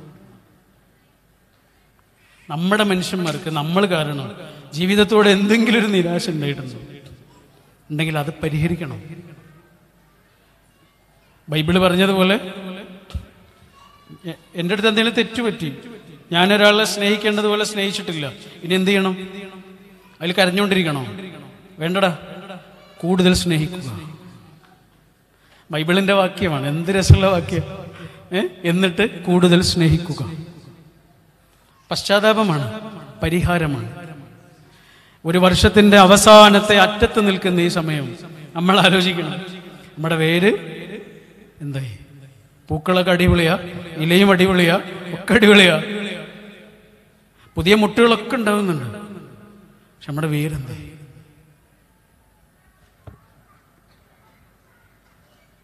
നമ്മുടെ കൂടെ ജീവിക്കുന്ന മനുഷ്യന്മാരെ നമുക്ക് എത്ര മനസ്സിലായിട്ടുണ്ട്?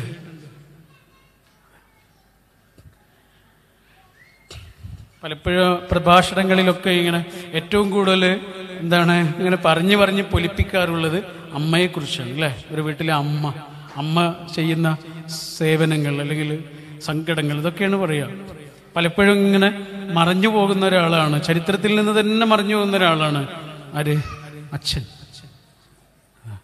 ഇല്ലല്ലോ നമ്മുടെ ബന്നമാഷ് പോയോ? ഇവിടെ ആ ബന്നമാഷിന്റെ കഥകളുടെ ഒരു ഓഡിയോ വേർഷൻ ഉണ്ട്. നിങ്ങൾ കേട്ടിട്ടുണ്ടോ? ഇല്ലേ? കഥകൾ അദ്ദേഹം ഓഡിയോ ആയിട്ട് പറഞ്ഞു തരും. അങ്ങനെ ഞാൻ കേട്ടൊരു കഥയുണ്ട്. വായിച്ചതല്ല കേട്ടതാണ്. നമ്മുടെ ഷിഹാബുദ്ദീൻ പൊയ്ത്തും കടവിന്റെ വരൂ അരികിലിരിക്കും. മാഷിക്ക് എന്താ തോന്നിയ വായിച്ചപ്പോ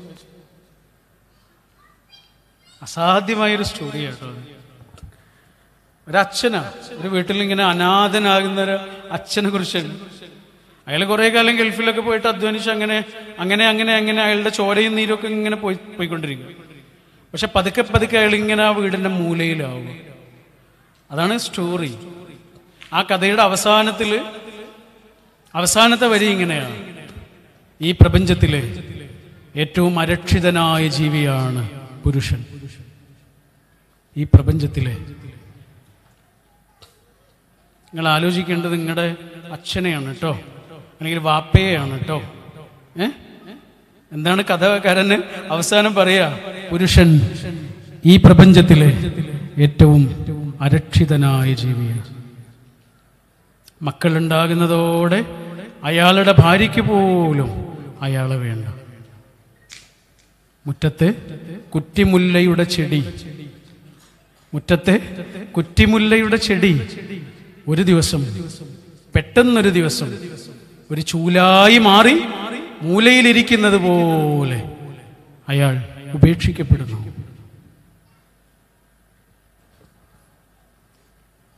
ഉള്ളിലെ സ്നേഹം പോലും മക്കളോട് ശരിക്കും പറഞ്ഞു കൊടുക്കാൻ കഴിയാതെ ഉള്ളിലെ സങ്കടങ്ങൾ ഒരാളോടും പറയാതെ പ്രതിസന്ധികൾ എന്തൊക്കെയാണ് അനുഭവിച്ചുകൊണ്ടിരിക്കുന്നതെന്ന് പോലും ഒരാളോട് ഷെയർ ചെയ്യാതെ ഷെയർ ചെയ്യാതെ ഷെയർ ചെയ്യാതെ തിരിച്ചറിയപ്പെടാതെ പോകുന്ന മനുഷ്യന്മാരാണ് പൊതുവെ അച്ഛന്മാർ. ഒരു വീഡിയോ കണ്ടിട്ടുണ്ട് നിങ്ങൾ കണ്ടിട്ടുണ്ടോ അറിയില്ല. ഒരു പാചക മത്സരമാണ് ഏഹ് പാചക മത്സരം. അപ്പോ ഒരു കുട്ടി അതിൽ പങ്കെടുത്തുകൊണ്ടിരിക്കുന്ന ഒരു പെൺകുട്ടിയുണ്ട്. അവളൊരു പാത്രം ഇങ്ങനെ പെട്ടെന്ന് തുറക്കണം. ചെറിയ സമയം കൊണ്ടാണ് പാചകം ഉണ്ടാക്കുന്നത്. ഒരു മിനിറ്റ് ഒക്കെ കൊടുത്തിട്ടാണ്. ഒരു മിനിറ്റ് കൊണ്ട് ഉണ്ടാക്കുന്ന പാചകം. അപ്പൊ ഈ ഈ പാത്രം തുറക്കാൻ പറ്റുന്നില്ല. അവൾ ഓടുന്ന എങ്ങോട്ടാ? അച്ഛന്റെ അടുത്തേക്കാ. അച്ഛൻ. അവിടെ കൂടി നിൽക്കുന്ന നൂറുകണക്കിന് മനുഷ്യന്മാരുണ്ട്. ആ മനുഷ്യനിൽ നിന്ന് ഏറ്റവും സുരക്ഷിതമായി ഓടി അണയാൻ കഴിയുന്ന ഒരു ചൂടുണ്ടെങ്കിൽ അവൾക്കറിയാം. നിരുപാധികം. നിരുപാധികം. എന്നെ സ്വീകരിക്കുന്ന മനുഷ്യൻ. അല്ലേ? നമ്മളെ പണ്ടൊക്കെ നമ്മുടെ നാട്ടിൽ അപ്പയില്ലേ അപ്പ നമ്മൾ കമ്മ്യൂണിസ്റ്റ് അപ്പ എന്ന് പറയില്ലേ? പറയില്ലേ? ഇവിടെ എന്താ പറയാ? ഏ? കമ്മ്യൂണിസ്റ്റ് അപ്പ. പണ്ട് കമ്മ്യൂണിസം ലോകത്ത് മുഴുവനും വളരെ പെട്ടെന്ന് വ്യാപിച്ചിരുന്നു. അതുപോലെ പെട്ടെന്ന് വ്യാപിച്ചിരുന്ന ഒരു ചെടിയായിരുന്നു എന്ത്? അപ്പ. അതുകൊണ്ടാണ് കമ്മ്യൂണിസ്റ്റ് അപ്പ എന്ന് പേര് കിട്ടി ശരിക്കും അതിന്റെ നിറം എന്താണ്? ചുവപ്പല്ല? എന്താണ്? പച്ചയാണ്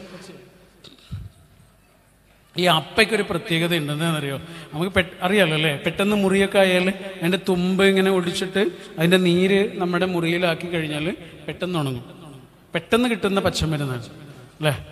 എന്ത്? അപ്പ. എന്താണ്? അപ്പ.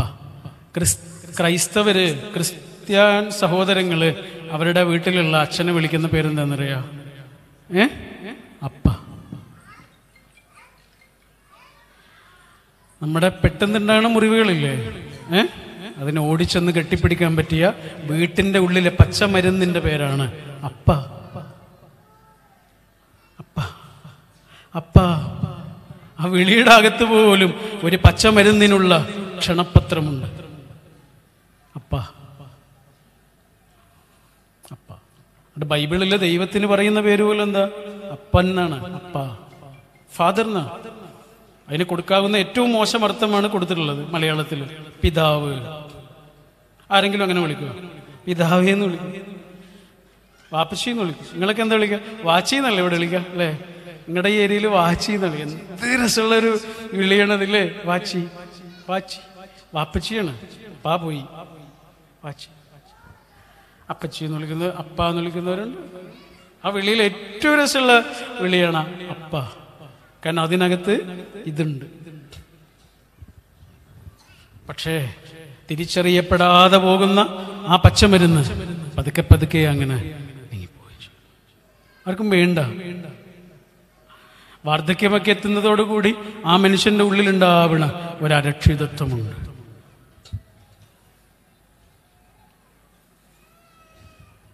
അപ്പ. സങ്കടങ്ങളൊന്നും പറയൂല. കേട്ടോ? ഏ? പുരുഷന്റെ ഒരു പ്രത്യേകതയാ. ഒരു വിഷമം വന്നാൽ ആരോടും പറയുമൊന്നുമില്ല നിങ്ങൾ എത്ര വേണമെങ്കിലും ചെന്ന് ചോദിച്ചോളൂ. പറയില്ല എത്ര നിർബന്ധിച്ചാലും പറഞ്ഞു തരില്ല അവസാനം പറയും എനിക്കൊരു സ്വസ്ഥത തന്നാൽ മതി എന്നൊക്കെ പറയും. അല്ലേ? കാരണം ഒരാളോട് ഷെയർ ചെയ്യാൻ ഇഷ്ടപ്പെടില്ല അത് എല്ലാ പുരുഷന്മാരും അങ്ങനെ തന്നെയാണ്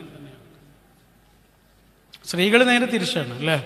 ഒരു വിഷമം വരുമ്പോൾ അവൾക്കത് പറയാന്നുള്ളതാണ് ഒന്നാമത്തെ മരുന്ന്. ആരോടെങ്കിലും ഒന്ന് പറയണം. പറയണ എന്തിനാ? പരിഹാരം കിട്ടാനൊന്നുമല്ല. കേട്ടോ? ഭയങ്കര ഒരു സംഭവമാണത്. സ്ത്രീയും പുരുഷനും എങ്ങനെയാണ് സങ്കടങ്ങളെ സ്വീകരിക്കുന്നത്? പുരുഷനൊരു സങ്കടം വന്നാൽ അവൻ ആരോട് പറയുന്നില്ല. അവനതിനൊരു പരിഹാരം കിട്ടണം. ഇത്രയേ ഉള്ളൂ. പരിഹാരം കിട്ടുന്നത് വരെ അവനൊരു ഗുഹയുടെ അകത്തേക്ക് കയറുന്നത് പോലെയാണ്. അത് വണ്ടിയിൽ ഇരി- ഇരിക്കലാവാം പുതപ്പിന്റെ ഉള്ളിലാവാം റൂമിന്റെ ഉള്ളിലാവാം എവിടെങ്കിലും അവന് സ്വസ്ഥമായിട്ട് ഇരിക്കണം. ആരും വരരുത്. മക്കളോട് പോലും ദേഷ്യപ്പെടും. പലപ്പോഴും മക്കളെ അടിച്ചിട്ടുള്ളത് മക്കളുടെ കുഴപ്പം കൊണ്ടാണോ? ഏ? നമ്മുടെ ദേഷ്യം കൊണ്ടല്ലേ? അല്ലേ? അല്ലേ? കുറച്ച് കഴിഞ്ഞിട്ട് നമ്മളെന്താ പറയാ? അപ്പക്ക് പെട്ടെന്നൊരു ദേഷ്യം വന്നുകൊണ്ട് അടിച്ചാട്ടോ എന്താ പറയാ? മക്ക കിട്ടിയ അടി മുഴുവനും അവരുടെ കുഴപ്പം കൊണ്ടല്ല. അവർ കുട്ടികളായതുകൊണ്ട് അതൊക്കെ ചെയ്യായിരിക്കും. കുഴപ്പങ്ങൾ വരും കുസൃതികൾ വരും കുരുത്തക്കേടുകൾ വരും. പക്ഷെ അടിച്ചത് എന്തുണ്ടാ നമ്മുടെ ദേഷ്യം കൊണ്ടാണ് ദേഷ്യം ഉണ്ടായത് എവിടുന്നാ? ചിലപ്പോ ആ കുട്ടി അതിനൊരു കാരണക്കാരനേ ആകൂല. പുറത്തുനിന്നുണ്ടായ ദേഷ്യമായിരിക്കും. കച്ചവടത്തിലുണ്ടായ ദേഷ്യമായിരിക്കും. സ്റ്റാഫിന്റെ അടുത്തുനിന്ന് ഉണ്ടായ ദേഷ്യമായിരിക്കും. അല്ലെങ്കിൽ കുടുംബത്തിൽ വേറെ ആരോടെങ്കിലും ഉണ്ടായ ദേഷ്യം നമ്മൾ പറഞ്ഞേ? എന്തേനും നമ്മൾ പറഞ്ഞു എന്തേനും? ഏ? അപ്പയല്ല അപ്പയല്ല. എവിടെ നിന്നൊക്കെ പോന്നിട്ട് എന്തിനു പറഞ്ഞ? കുട്ടികളെ അടിക്കുന്ന അതൊന്നല്ല വേറെ ഒരു കാര്യം പറയുന്നത് ഏ? ഏ? ഇപ്പൊ അവസാനം പറഞ്ഞ എന്തായിരുന്നു? ആ പുരുഷൻ. Yes thank you thank you നിങ്ങളെ പേരെന്താ? നിങ്ങൾ നല്ലൊരു സ്റ്റുഡന്റ് ആണ്. പുരുഷന്മാർ സങ്കടം വന്നാൽ ആരോടും പറയില്ല അപ്പം നമ്മൾ വിചാരിക്കുക എന്താണ്? നിങ്ങൾക്കൊരു സങ്കടം നേരിട്ട് എന്നോട് പറഞ്ഞില്ലല്ലോ എന്നൊക്കെ ചോദിക്കൂലേ നിങ്ങൾ രാവിലെ പോയ ആളല്ലല്ലോ വൈകിട്ട് വരുമ്പോൾ എന്നോടെങ്കിലും ഒന്ന് പറഞ്ഞുവിടെ എന്നൊക്കെ ചോദിക്കൂലേ പറയൂല. അത് പുരുഷന്റെ പ്രത്യേകതയാ. അവനതിന് പരിഹാരം കിട്ടണം. എന്നാലോ സ്ത്രീ നേരെ തിരിച്ചുമാണ് അവൾക്കൊരു സങ്കടം വന്നാൽ പരിഹാരം കിട്ടുന്നതിനേക്കാൾ അത് അവൾക്ക് ആരോടെങ്കിലും ഒന്ന് ഷെയർ ചെയ്യണം. ആരോട് ആദ്യം വന്ന് ഷെയർ ചെയ്യുക നമ്മളോട്. നമ്മൾ പറഞ്ഞു തുടങ്ങുമ്പോഴേക്കും എന്ത് കൊടുക്കും? പരിഹാരം. ഇതല്ലേ? അവൾക്ക് എന്ത് വേണ്ട? പരിഹാരം വേണ്ട. അത് പിന്നെ വന്നോളൂ. ആദ്യം അവൾക്ക് എന്ത് വേണം? ഇത് ആരോടെങ്കിലും ഒന്ന് ഷെയർ ചെയ്യണം. അതുകൊണ്ട് സ്ത്രീ എന്ന് പറയുന്നത് ഭയങ്കര ഇമോഷണൽ ജീവിയാണ് അവൾക്ക് സങ്കടമാവട്ടെ സന്തോഷമാവട്ടെ പിന്നെ എന്താ എല്ലാ ഫീലിങ്ങും അവൾക്ക് എക്സ്ട്രീമാണ് അതിന്റെ കാരണം എന്താണെന്ന് വെച്ചാൽ തലച്ചോറിന്റെ രണ്ട് ഭാഗങ്ങൾ ഒരേപോലെ വർക്ക് ചെയ്യും. സങ്കടം വന്നാലും കൂടുതൽ സങ്കടമായിരിക്കും സങ്കടമായിട്ട് ബന്ധപ്പെട്ട എല്ലാം അവൾക്ക് വരും. സന്തോഷം വരുമ്പോഴും എല്ലാ സന്തോഷങ്ങളെയും ഒരുപോലെ അവൾ മനസ്സിലേക്ക് ഓർത്തെടുക്കും. അല്ലേ? ഇന്നുണ്ടായൊരു സംഭവം എങ്ങനെയുള്ള പറയുക പറയാ? അതുപോലൊരു സംഭവം പത്ത് കൊല്ലം മുമ്പ് നടന്നിട്ടുണ്ടെങ്കിൽ അതാണ് ആദ്യം പറയാ. അല്ലേ? അല്ലേ? അതെന്തുണ്ടാ അവൾ കണക്ട് ചെയ്യും. കണക്ട് ചെയ്യും. പണ്ടൊരു മാഷ് കല്യാണം കഴിച്ചൊരു കഥയുണ്ട്. എനിക്ക് തമാശ പറയാനൊന്നും അറിയില്ല. ചിലപ്പോൾ ഇത് തമാശയായിട്ടൊന്നും മാറൂല. പറ്റുകയാണെങ്കിൽ നിങ്ങൾ ആസ്വദിച്ചാൽ മതിട്ടാ ഇത് തമാശയാണ് ശരിക്കും. എനിക്കത് പറയാൻ കഴിയുമെന്ന് അറിയില്ല. അതാണ് ഞാൻ പറഞ്ഞത്. ഓക്കെ മാഷി കല്യാണം കഴിഞ്ഞ് കല്യാണം കഴിഞ്ഞ് പുതിയ പെണ്ണാണല്ലോ. അപ്പോൾ അവളോട് ഒരു ദിവസം പറഞ്ഞു എന്റെ ക്ലാസ്സിൽ ബിന്ദു എന്ന് പറഞ്ഞിട്ടുള്ളൊരു മോളുണ്ട്. അവളുടെ നെറ്റിയിൽ നല്ല രസമുള്ളൊരു മറുകുണ്ട്. ആ മറുക് ഭയങ്കര ഭംഗിയാണ്. ക്ലാസ് എടുക്കുമ്പോഴൊക്കെ ഞാനത് ശ്രദ്ധിക്കാറുണ്ട് എന്നൊക്കെ പറഞ്ഞു. കുറേ കാലം കഴിഞ്ഞ് അയാൾ പെൻഷനൊക്കെ പറ്റി. റിട്ടയർഡായി. ഒരു ദിവസം രാത്രി ഇങ്ങനെ തപ്പിപ്പിടിച്ച് വരുന്ന സമയത്ത് കല്ലിൽ തട്ടിയിട്ട് ആൾ വീണ്. ഭാര്യ ഓടി വന്നിട്ട് ഓർഷം കൊണ്ട് ഓടി വന്നിട്ട് ചോദിച്ചു എന്ത് പറ്റി? ഞാൻ കല്ല് കണ്ടില്ല എന്ന് പറഞ്ഞു. മുന്നിലെ കല്ല് കണ്ടില്ല. ഉടനടി അൻപത് നാൽപ്പത് കൊല്ലങ്ങൾക്ക് അപ്പുറത്ത് നിന്നൊരു സംഭവത്തെ ഇങ്ങനെ പെറുക്കിയെടുത്തിട്ട് പറഞ്ഞു ബിന്ദുവിന്റെ നെറ്റിയിലെ മറുക് കാണാൻ കഴിഞ്ഞു. മുന്നിൽ എത്രയും വലിയ കല്ല് കാണാൻ കഴിഞ്ഞില്ലേ? ഇതാണ് കണക്ട്. ഇതെല്ലാ കാര്യങ്ങളിലും ഉണ്ടാവും. സന്തോഷങ്ങളിലുണ്ടാവും സങ്കടങ്ങളിലുണ്ടാവും പരാതികളിലുണ്ടാവും പരിഭവങ്ങളിലുണ്ടാവും സ്നേഹത്തിലുണ്ടാവും. ഇമോഷണലാണ് അടിമുടി ഇമോഷണലാണ് അതുകൊണ്ടാണ് അവൾക്ക് അമ്മയാകാൻ കഴിയുന്നത്. അതുകൊണ്ടാണ് അവൾക്ക് ക്ഷമിക്കാൻ കഴിയുന്നത്. അതുകൊണ്ടാണ് അവൾക്ക് കാത്തിരിക്കാൻ കഴിയുന്നത്. പെങ്ങൾ ആശ അമ്മ ആശുപത്രിയിലായാൽ പോലും ഉമ്മ ആശുപത്രിയിലായാൽ പോലും നമ്മൾ എത്ര ദിവസം ഉറക്കൊഴിക്കും? ഏറി വന്നാൽ ഒരു ദിവസം. പിറ്റേന്ന് ആരെ വിളിക്കും? പെങ്ങളെ വിളിക്കും. എന്നിട്ട് പറയും ഇനി നീ വന്നിരിക്കടാ. എനിക്ക് പറ്റുന്നില്ല ഉറക്കൊഴിക്കാൻ പറ്റുന്നില്ല. അവൾ എത്ര ദിവസം വേണേലും ഉറക്കൊഴിക്കും. കാത്തിരിക്കും. ഒൻപത് മാസവും കാത്തിരിക്കും.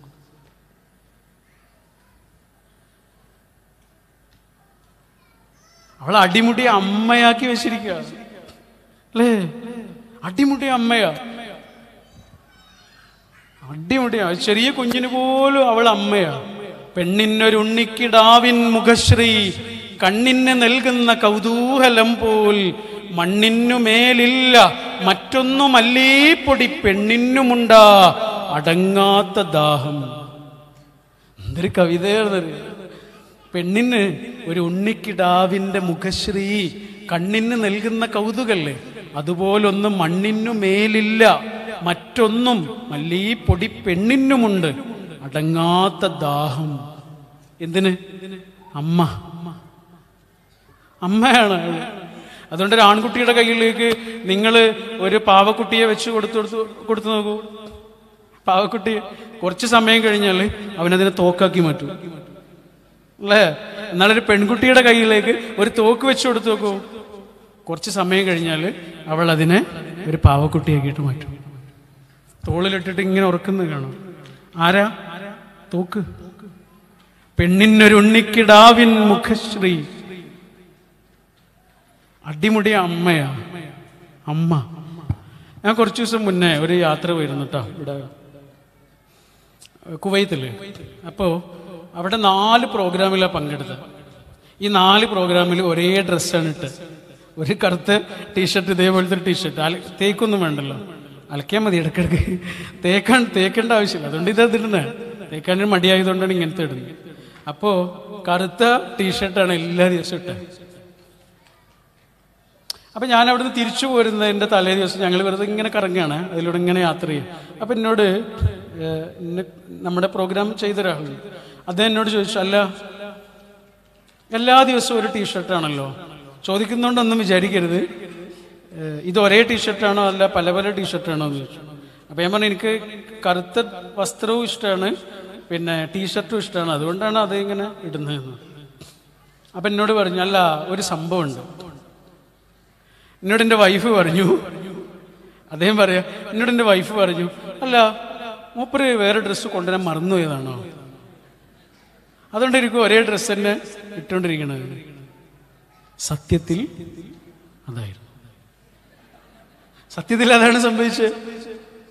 കാരണം ഞാൻ ഡ്രസ്സ് വെച്ച എന്തോ ഒരു ബാഗ് ഉണ്ടായിരുന്നു അത് മറന്നുപോയി. അതുകൊണ്ട് എല്ലാ ദിവസവും ഞാൻ വിചാരിക്കുന്ന ആ പ്രോഗ്രാമിൽ എത്ര ആളുകൾ പങ്കെടുത്തിട്ടുണ്ടാവും. അവരൊന്നും ആലോചിച്ചിട്ടില്ലല്ലോ. പക്ഷെ ആ സ്ത്രീ ഇല്ലേ? അവർ ഒരൊറ്റ നിമിഷം അമ്മയായിട്ട് ആലോചിച്ചു. അതാണ് ഒരമ്മയ്ക്ക് മാത്രമേ ഇത് ചിന്തിക്കാൻ കഴിയുള്ളൂ. എന്റെ വസ്ത്രം ഇവിടെ ഇങ്ങനെ കീറിയിട്ടുണ്ടെന്ന് വിചാരിച്ചോളൂ നിങ്ങളൊക്കെ എന്താ വിചാരിക്കുക ആ എന്തൊരു ലാളിത്യമുള്ള മനുഷ്യനാണ്. കീറിയ വസ്ത്രം പോലും പൊതുസദസ്സിൽ ഇടുന്നു എന്നൊക്കെയല്ലേ വിചാരിക്കുക ഇവരെന്താ വിചാരിക്കുക അതൊന്ന് കിട്ടിയിരുന്നെങ്കിൽ അഞ്ച് മിനിറ്റ് കൊണ്ട് ഞാനത് തുന്നി കൊടുക്കുമല്ലോ അല്ലേ? അമ്മ. അതുകൊണ്ട് ഏ? ഗർഭപാത്രം ഉള്ളിലുണ്ട് എന്ന ഒരൊറ്റ കാരണം കൊണ്ട് ഒരു പെണ്ണ് ജീവിതത്തിൽ ഒരു പതിമൂന്ന് വയസ്സ് മുതൽ അനുഭവിച്ചുകൊണ്ടിരിക്കേണ്ടത് എന്തൊക്കെയാണ് എന്ന് നമ്മളൊന്ന് അറിഞ്ഞിരുന്നു എങ്കിൽ. ഗർഭപാത്രം ഉള്ളിലുണ്ട് എന്ന ഒരൊറ്റ കാരണം ഒരു പെണ്ണ് അവളുടെ ജീവിതത്തിൽ എന്തൊക്കെയാണ് ഒരായുസ് മുഴുവനും അനുഭവിക്കുന്നത് എന്ന് ഒരു നിമിഷം നമ്മൾ അറിഞ്ഞിരുന്നെങ്കിൽ ആ കാലിൽ ഉമ്മ കൊടുക്കും. അവൾക്ക് വേണ്ടിയാണോ? അവൾക്ക് വേണ്ടിയാണോ? ഈ മനുഷ്യവംശത്തിന് വേണ്ടിയിട്ട്. ബാക്കിയൊക്കെ അവളുടെ ഔദാര്യമാണ്.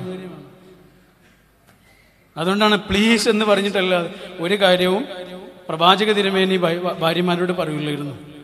പ്ലീസ് എന്നതിന് അവിടെ ഉപയോഗിക്കുന്ന പ്രയോഗങ്ങൾ. ഇപ്പൊ ഹിറാ ഗുഹയിൽ വെച്ചിട്ട് ആണ് പ്രവാചകനാവുന്നത്.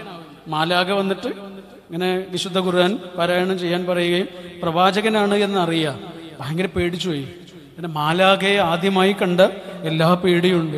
ഏ? അങ്ങനെ ഓടി വന്നിട്ട് എങ്ങോട്ടാ ഓടി വരുന്നത് വീട്ടിലേക്ക് ഓടി വരുന്നത് വീട്ടിലേക്ക് ഓടി വന്നിട്ട് ഭാര്യയോട് പറഞ്ഞൊരു വാക്കുണ്ട്. ആർക്കെങ്കിലും അറിയോ? ജമ്മിലൂനി. അറബിയാണ്. വാക്കിന് ഇത്രയേ അർത്ഥമുള്ളൂ. എന്നെ പുതപ്പിട്ട് എനിക്കൊരു പുതപ്പ് തരുമെന്നാണ് പനിക്കുന്നത് പോലെ തോന്നുന്നു എനിക്കൊരു പുതപ്പ് തരുമെന്ന് എന്ത് പുതപ്പ്? ഏ? പതപ്പാണോ? ആണോ? കമ്പിളി പതപ്പാ? അങ്ങനെയാണെങ്കിൽ വേറെ ഏതെങ്കിലും വീട്ടിലേക്ക് പോയപ്പോരെ. അവിടൊക്കെ പുതപ്പുണ്ടാവില്ലേ? ഈ ആളോട് വന്നത് പറഞ്ഞ എന്തിനാ? ഒരു തുണിശീല കൊണ്ട് എന്നെ പുതപ്പിക്കുന്നല്ല. നിന്റെ ഇളം ചൂടുള്ള ശരീരം കൊണ്ട് എന്നെ ഒന്ന് പുതക്കൂന്ന. എന്നൊന്ന് കെട്ടിപ്പിടിക്കടോ എനിക്കൊരു മനുഷ്യന്റെ ചൂട് വേണം. ആരുടേതിലും പോരാ. നിന്റേത് വേണം. എന്റെ ഭയങ്ങൾക്ക് അഭയമായി നീ മാറുകയാണ്. എന്റെ ചുടുവേനലിൽ നീ ഒരു തണലായി മാറുകയാണ്. എന്താ പറഞ്ഞില്ലേ തണൽ? തണലല്ലേ? തണൽ. ഓക്കെ. എന്താ വാക്കിന്റെ അർത്ഥം? ജമ്മിലൂനി എന്ന് പറഞ്ഞാൽ എന്നെ പുതക്കൂ എന്നാണ്. ഏഹ് എന്നെ പുതക്കൂ. ആ വാക്കിലേക്കൊന്ന് ശ്രദ്ധിക്കണേ. എന്താ പറഞ്ഞ? ജമ്മിലൂനി. അറബി ഭാഷ അറിയുന്നവർക്കൊക്കെ അറിയാം. അത് എന്നെ പുതക്ക്. നീ എന്നെ പുതക്ക്. നീ എന്നെ പുതക്ക് എന്നാണ് എങ്കിൽ അങ്ങനെയല്ല പറയാ. ജമ്മിൽ നീ എന്നാ പറയാ. എന്താ പറയാ? നീ എന്നാണ് പ്രയോഗം. നീ എന്നെ പുതക്കൂ എന്നാണെങ്കിൽ ജമ്മിൽ നീ എന്നാ പറയാ. പക്ഷെ ഇവിടെ പറഞ്ഞ എന്താണ്? ജമ്മിലൂനി അതിന്റെ അർത്ഥം എന്താണെന്നറിയോ? നിങ്ങൾ എന്നെ ഒന്ന് പുതക്കൂ. മുന്നിൽ നിൽക്കുന്നത് അമ്മയാണ് സ്വന്തം അമ്മ മാത്രമല്ല അമ്മ. കുഞ്ഞുങ്ങളുടെ അമ്മയും അമ്മയാണ് അതുകൊണ്ട് ഒരു പെണ്ണില്ലേ? ഇത്രയും കൊല്ലത്തെ എന്റെ അനുഭവം കൊണ്ടാണ് ഞാൻ പറയണത് എനിക്ക് അനിയത്തിയില്ല. എന്റെ വീട്ടിൽ ഉമ്മ മാത്രമേ ഉണ്ട്. പെണ്ണായിട്ടുണ്ടായിരുന്നുള്ളൂ. ഒരു ഇത്താത്തുണ്ട് പക്ഷെ അവൾ നേരത്തെ കല്യാണം കഴിഞ്ഞു പോയി. ഒരു പെണ്ണ് ഒരു അനിയത്തി എന്താന്ന് അവളുടെ വളർച്ച ഒന്നും എനിക്ക് കിട്ടിയില്ല. കണ്ടിട്ടില്ല ഞാൻ. പല കാര്യങ്ങൾ കല്യാണത്തിന് ശേഷമാണ് അറിയണത് പോലും. സ്ത്രീകൾ അനുഭവിക്കുന്ന ഓരോ മാസം അനുഭവിക്കുന്ന കാര്യങ്ങൾ പോലും ഞാൻ അറിയുന്നത് കല്യാണത്തിന് ശേഷമാണ് നിങ്ങൾ വിശ്വസിക്കുമെന്ന് അറിയില്ല. മദ്രസയിലൊന്നും ഞാൻ പഠിച്ചില്ല. അല്ലെങ്കിൽ പഠിച്ച ദിവസം ഞാൻ സ്കൂളിൽ പോയിട്ടില്ല. മറ്റേ പറഞ്ഞവൾ എനിക്ക് അറിയില്ലായിരുന്നോ. ഇവൾ വന്നതിന് ശേഷമാണ് ഇത് എന്താണ് കൃത്യമായിട്ട് മനസ്സിലാവണത് അനിയത്തിയൊന്നുമില്ല വീട്ടിൽ. ഉമ്മ അതൊക്കെ വളരെ തന്ത്രപൂർവം മറച്ചു വെച്ചിട്ടുണ്ടാവും. അപ്പോൾ അപ്പോ ഇപ്പൊ ഞങ്ങളെ കല്യാണം കഴിഞ്ഞിട്ട് പതിമൂന്ന് വർഷമായി. ഇത്രയും കൊല്ലത്തെ അനുഭവത്തിൽ നിന്ന് ഒരു പെണ്ണിന്റെ കൂടെ ജീവിച്ച അനുഭവത്തിൽ നിന്ന് എനിക്ക് മനസ്സിലായത് എന്താണെന്നറിയോ? ഒരു പെണ്ണ് വളരെ കുറച്ച് സമയമേ പെണ്ണാവുന്നുള്ളൂ. ബാക്കിയുള്ള സമയം മുഴുവനും ഒന്നുകിൽ അവൾ പെൺകുഞ്ഞാണ് അല്ലെങ്കിലോ അമ്മയുമാണ്. നിങ്ങളുടെ അനുഭവം വേറെ ആയിരിക്കാം എനിക്കറിയില്ല. എന്റെ അനുഭവം അതാ. വളരെ കുറച്ച് സമയമേ ആ കുഴപ്പമില്ല കുഴപ്പമില്ല. അമ്മയാ. പെണ്ണിനൊരു ഉണ്ണിക്കിടാവിൻ മുഖശ്രീ. ഒരു പാവക്കുട്ടി കൊടുത്തോക്കൂ. അപ്പോ ഞാൻ എന്റെ അനുഭവം പറയണ ഒരു പെണ്ണില്ലേ വളരെ കുറച്ച് സമയമേ മുതിർന്ന ഒരു പെണ്ണാവുന്നുള്ളൂ. ഇപ്പൊ കാമുകി അല്ലെങ്കിൽ പ്രണയിനി ഒരു എന്താണ് ഭാര്യ എന്നൊക്കെയുള്ള അങ്ങനത്തെ ഒരു വൈകാരിക സംഭവങ്ങളൊക്കെ ഇല്ലേ അത് വളരെ കുറച്ച് സമയമാണ്. പ്രണയിനി ആകുന്നത് പോലും വളരെ കുറച്ച് നിമിഷങ്ങളാണ്. ബാക്കിയുള്ള സമയം മുഴുവനും അവൾ ഒന്നുകിൽ പെൺകുഞ്ഞാണ്. നിങ്ങളുടെ വീട്ടിലെ മോളും വൈഫും തമ്മിൽ വൈകാരിക വിഷയങ്ങളിൽ വലിയ വിഷ വ്യത്യാസമൊന്നും ഉണ്ടാവില്ല. അവർക്ക് വേണ്ടത് ഏകദേശം ഒരേ കാര്യമായിരുന്നു. നിങ്ങളെ മോളെ നിങ്ങൾ ഒന്ന് കൊഞ്ചിച്ചു നോക്കും ലാളിച്ചു നോക്കും പുന്നാരിച്ചു നോക്കും ഏറ്റവും അസൂയപ്പെടുന്ന ആരായിരിക്കും? മറ്റേ പെൺകുഞ്ഞാണ്. അതാണ് അവൾ പെൺകുഞ്ഞാണ്. ഒരു പെൺകുഞ്ഞിന് എന്തൊക്കെയാണോ വേണ്ടത് അതൊക്കെ അവൾ ആഗ്രഹിക്കുന്നുണ്ടോ? ബാക്കിയുള്ള സമയം അവൾ എന്താണ്? അമ്മയുമാണ്. വീഴാൻ പാടില്ല. ഓക്കെ? അത് നമ്മൾ അവസാനിപ്പിച്ചു. സമയപ്രശ്നം ഉണ്ടാ എന്നാ ഞാൻ അവസാനിപ്പിച്ചു. Thank you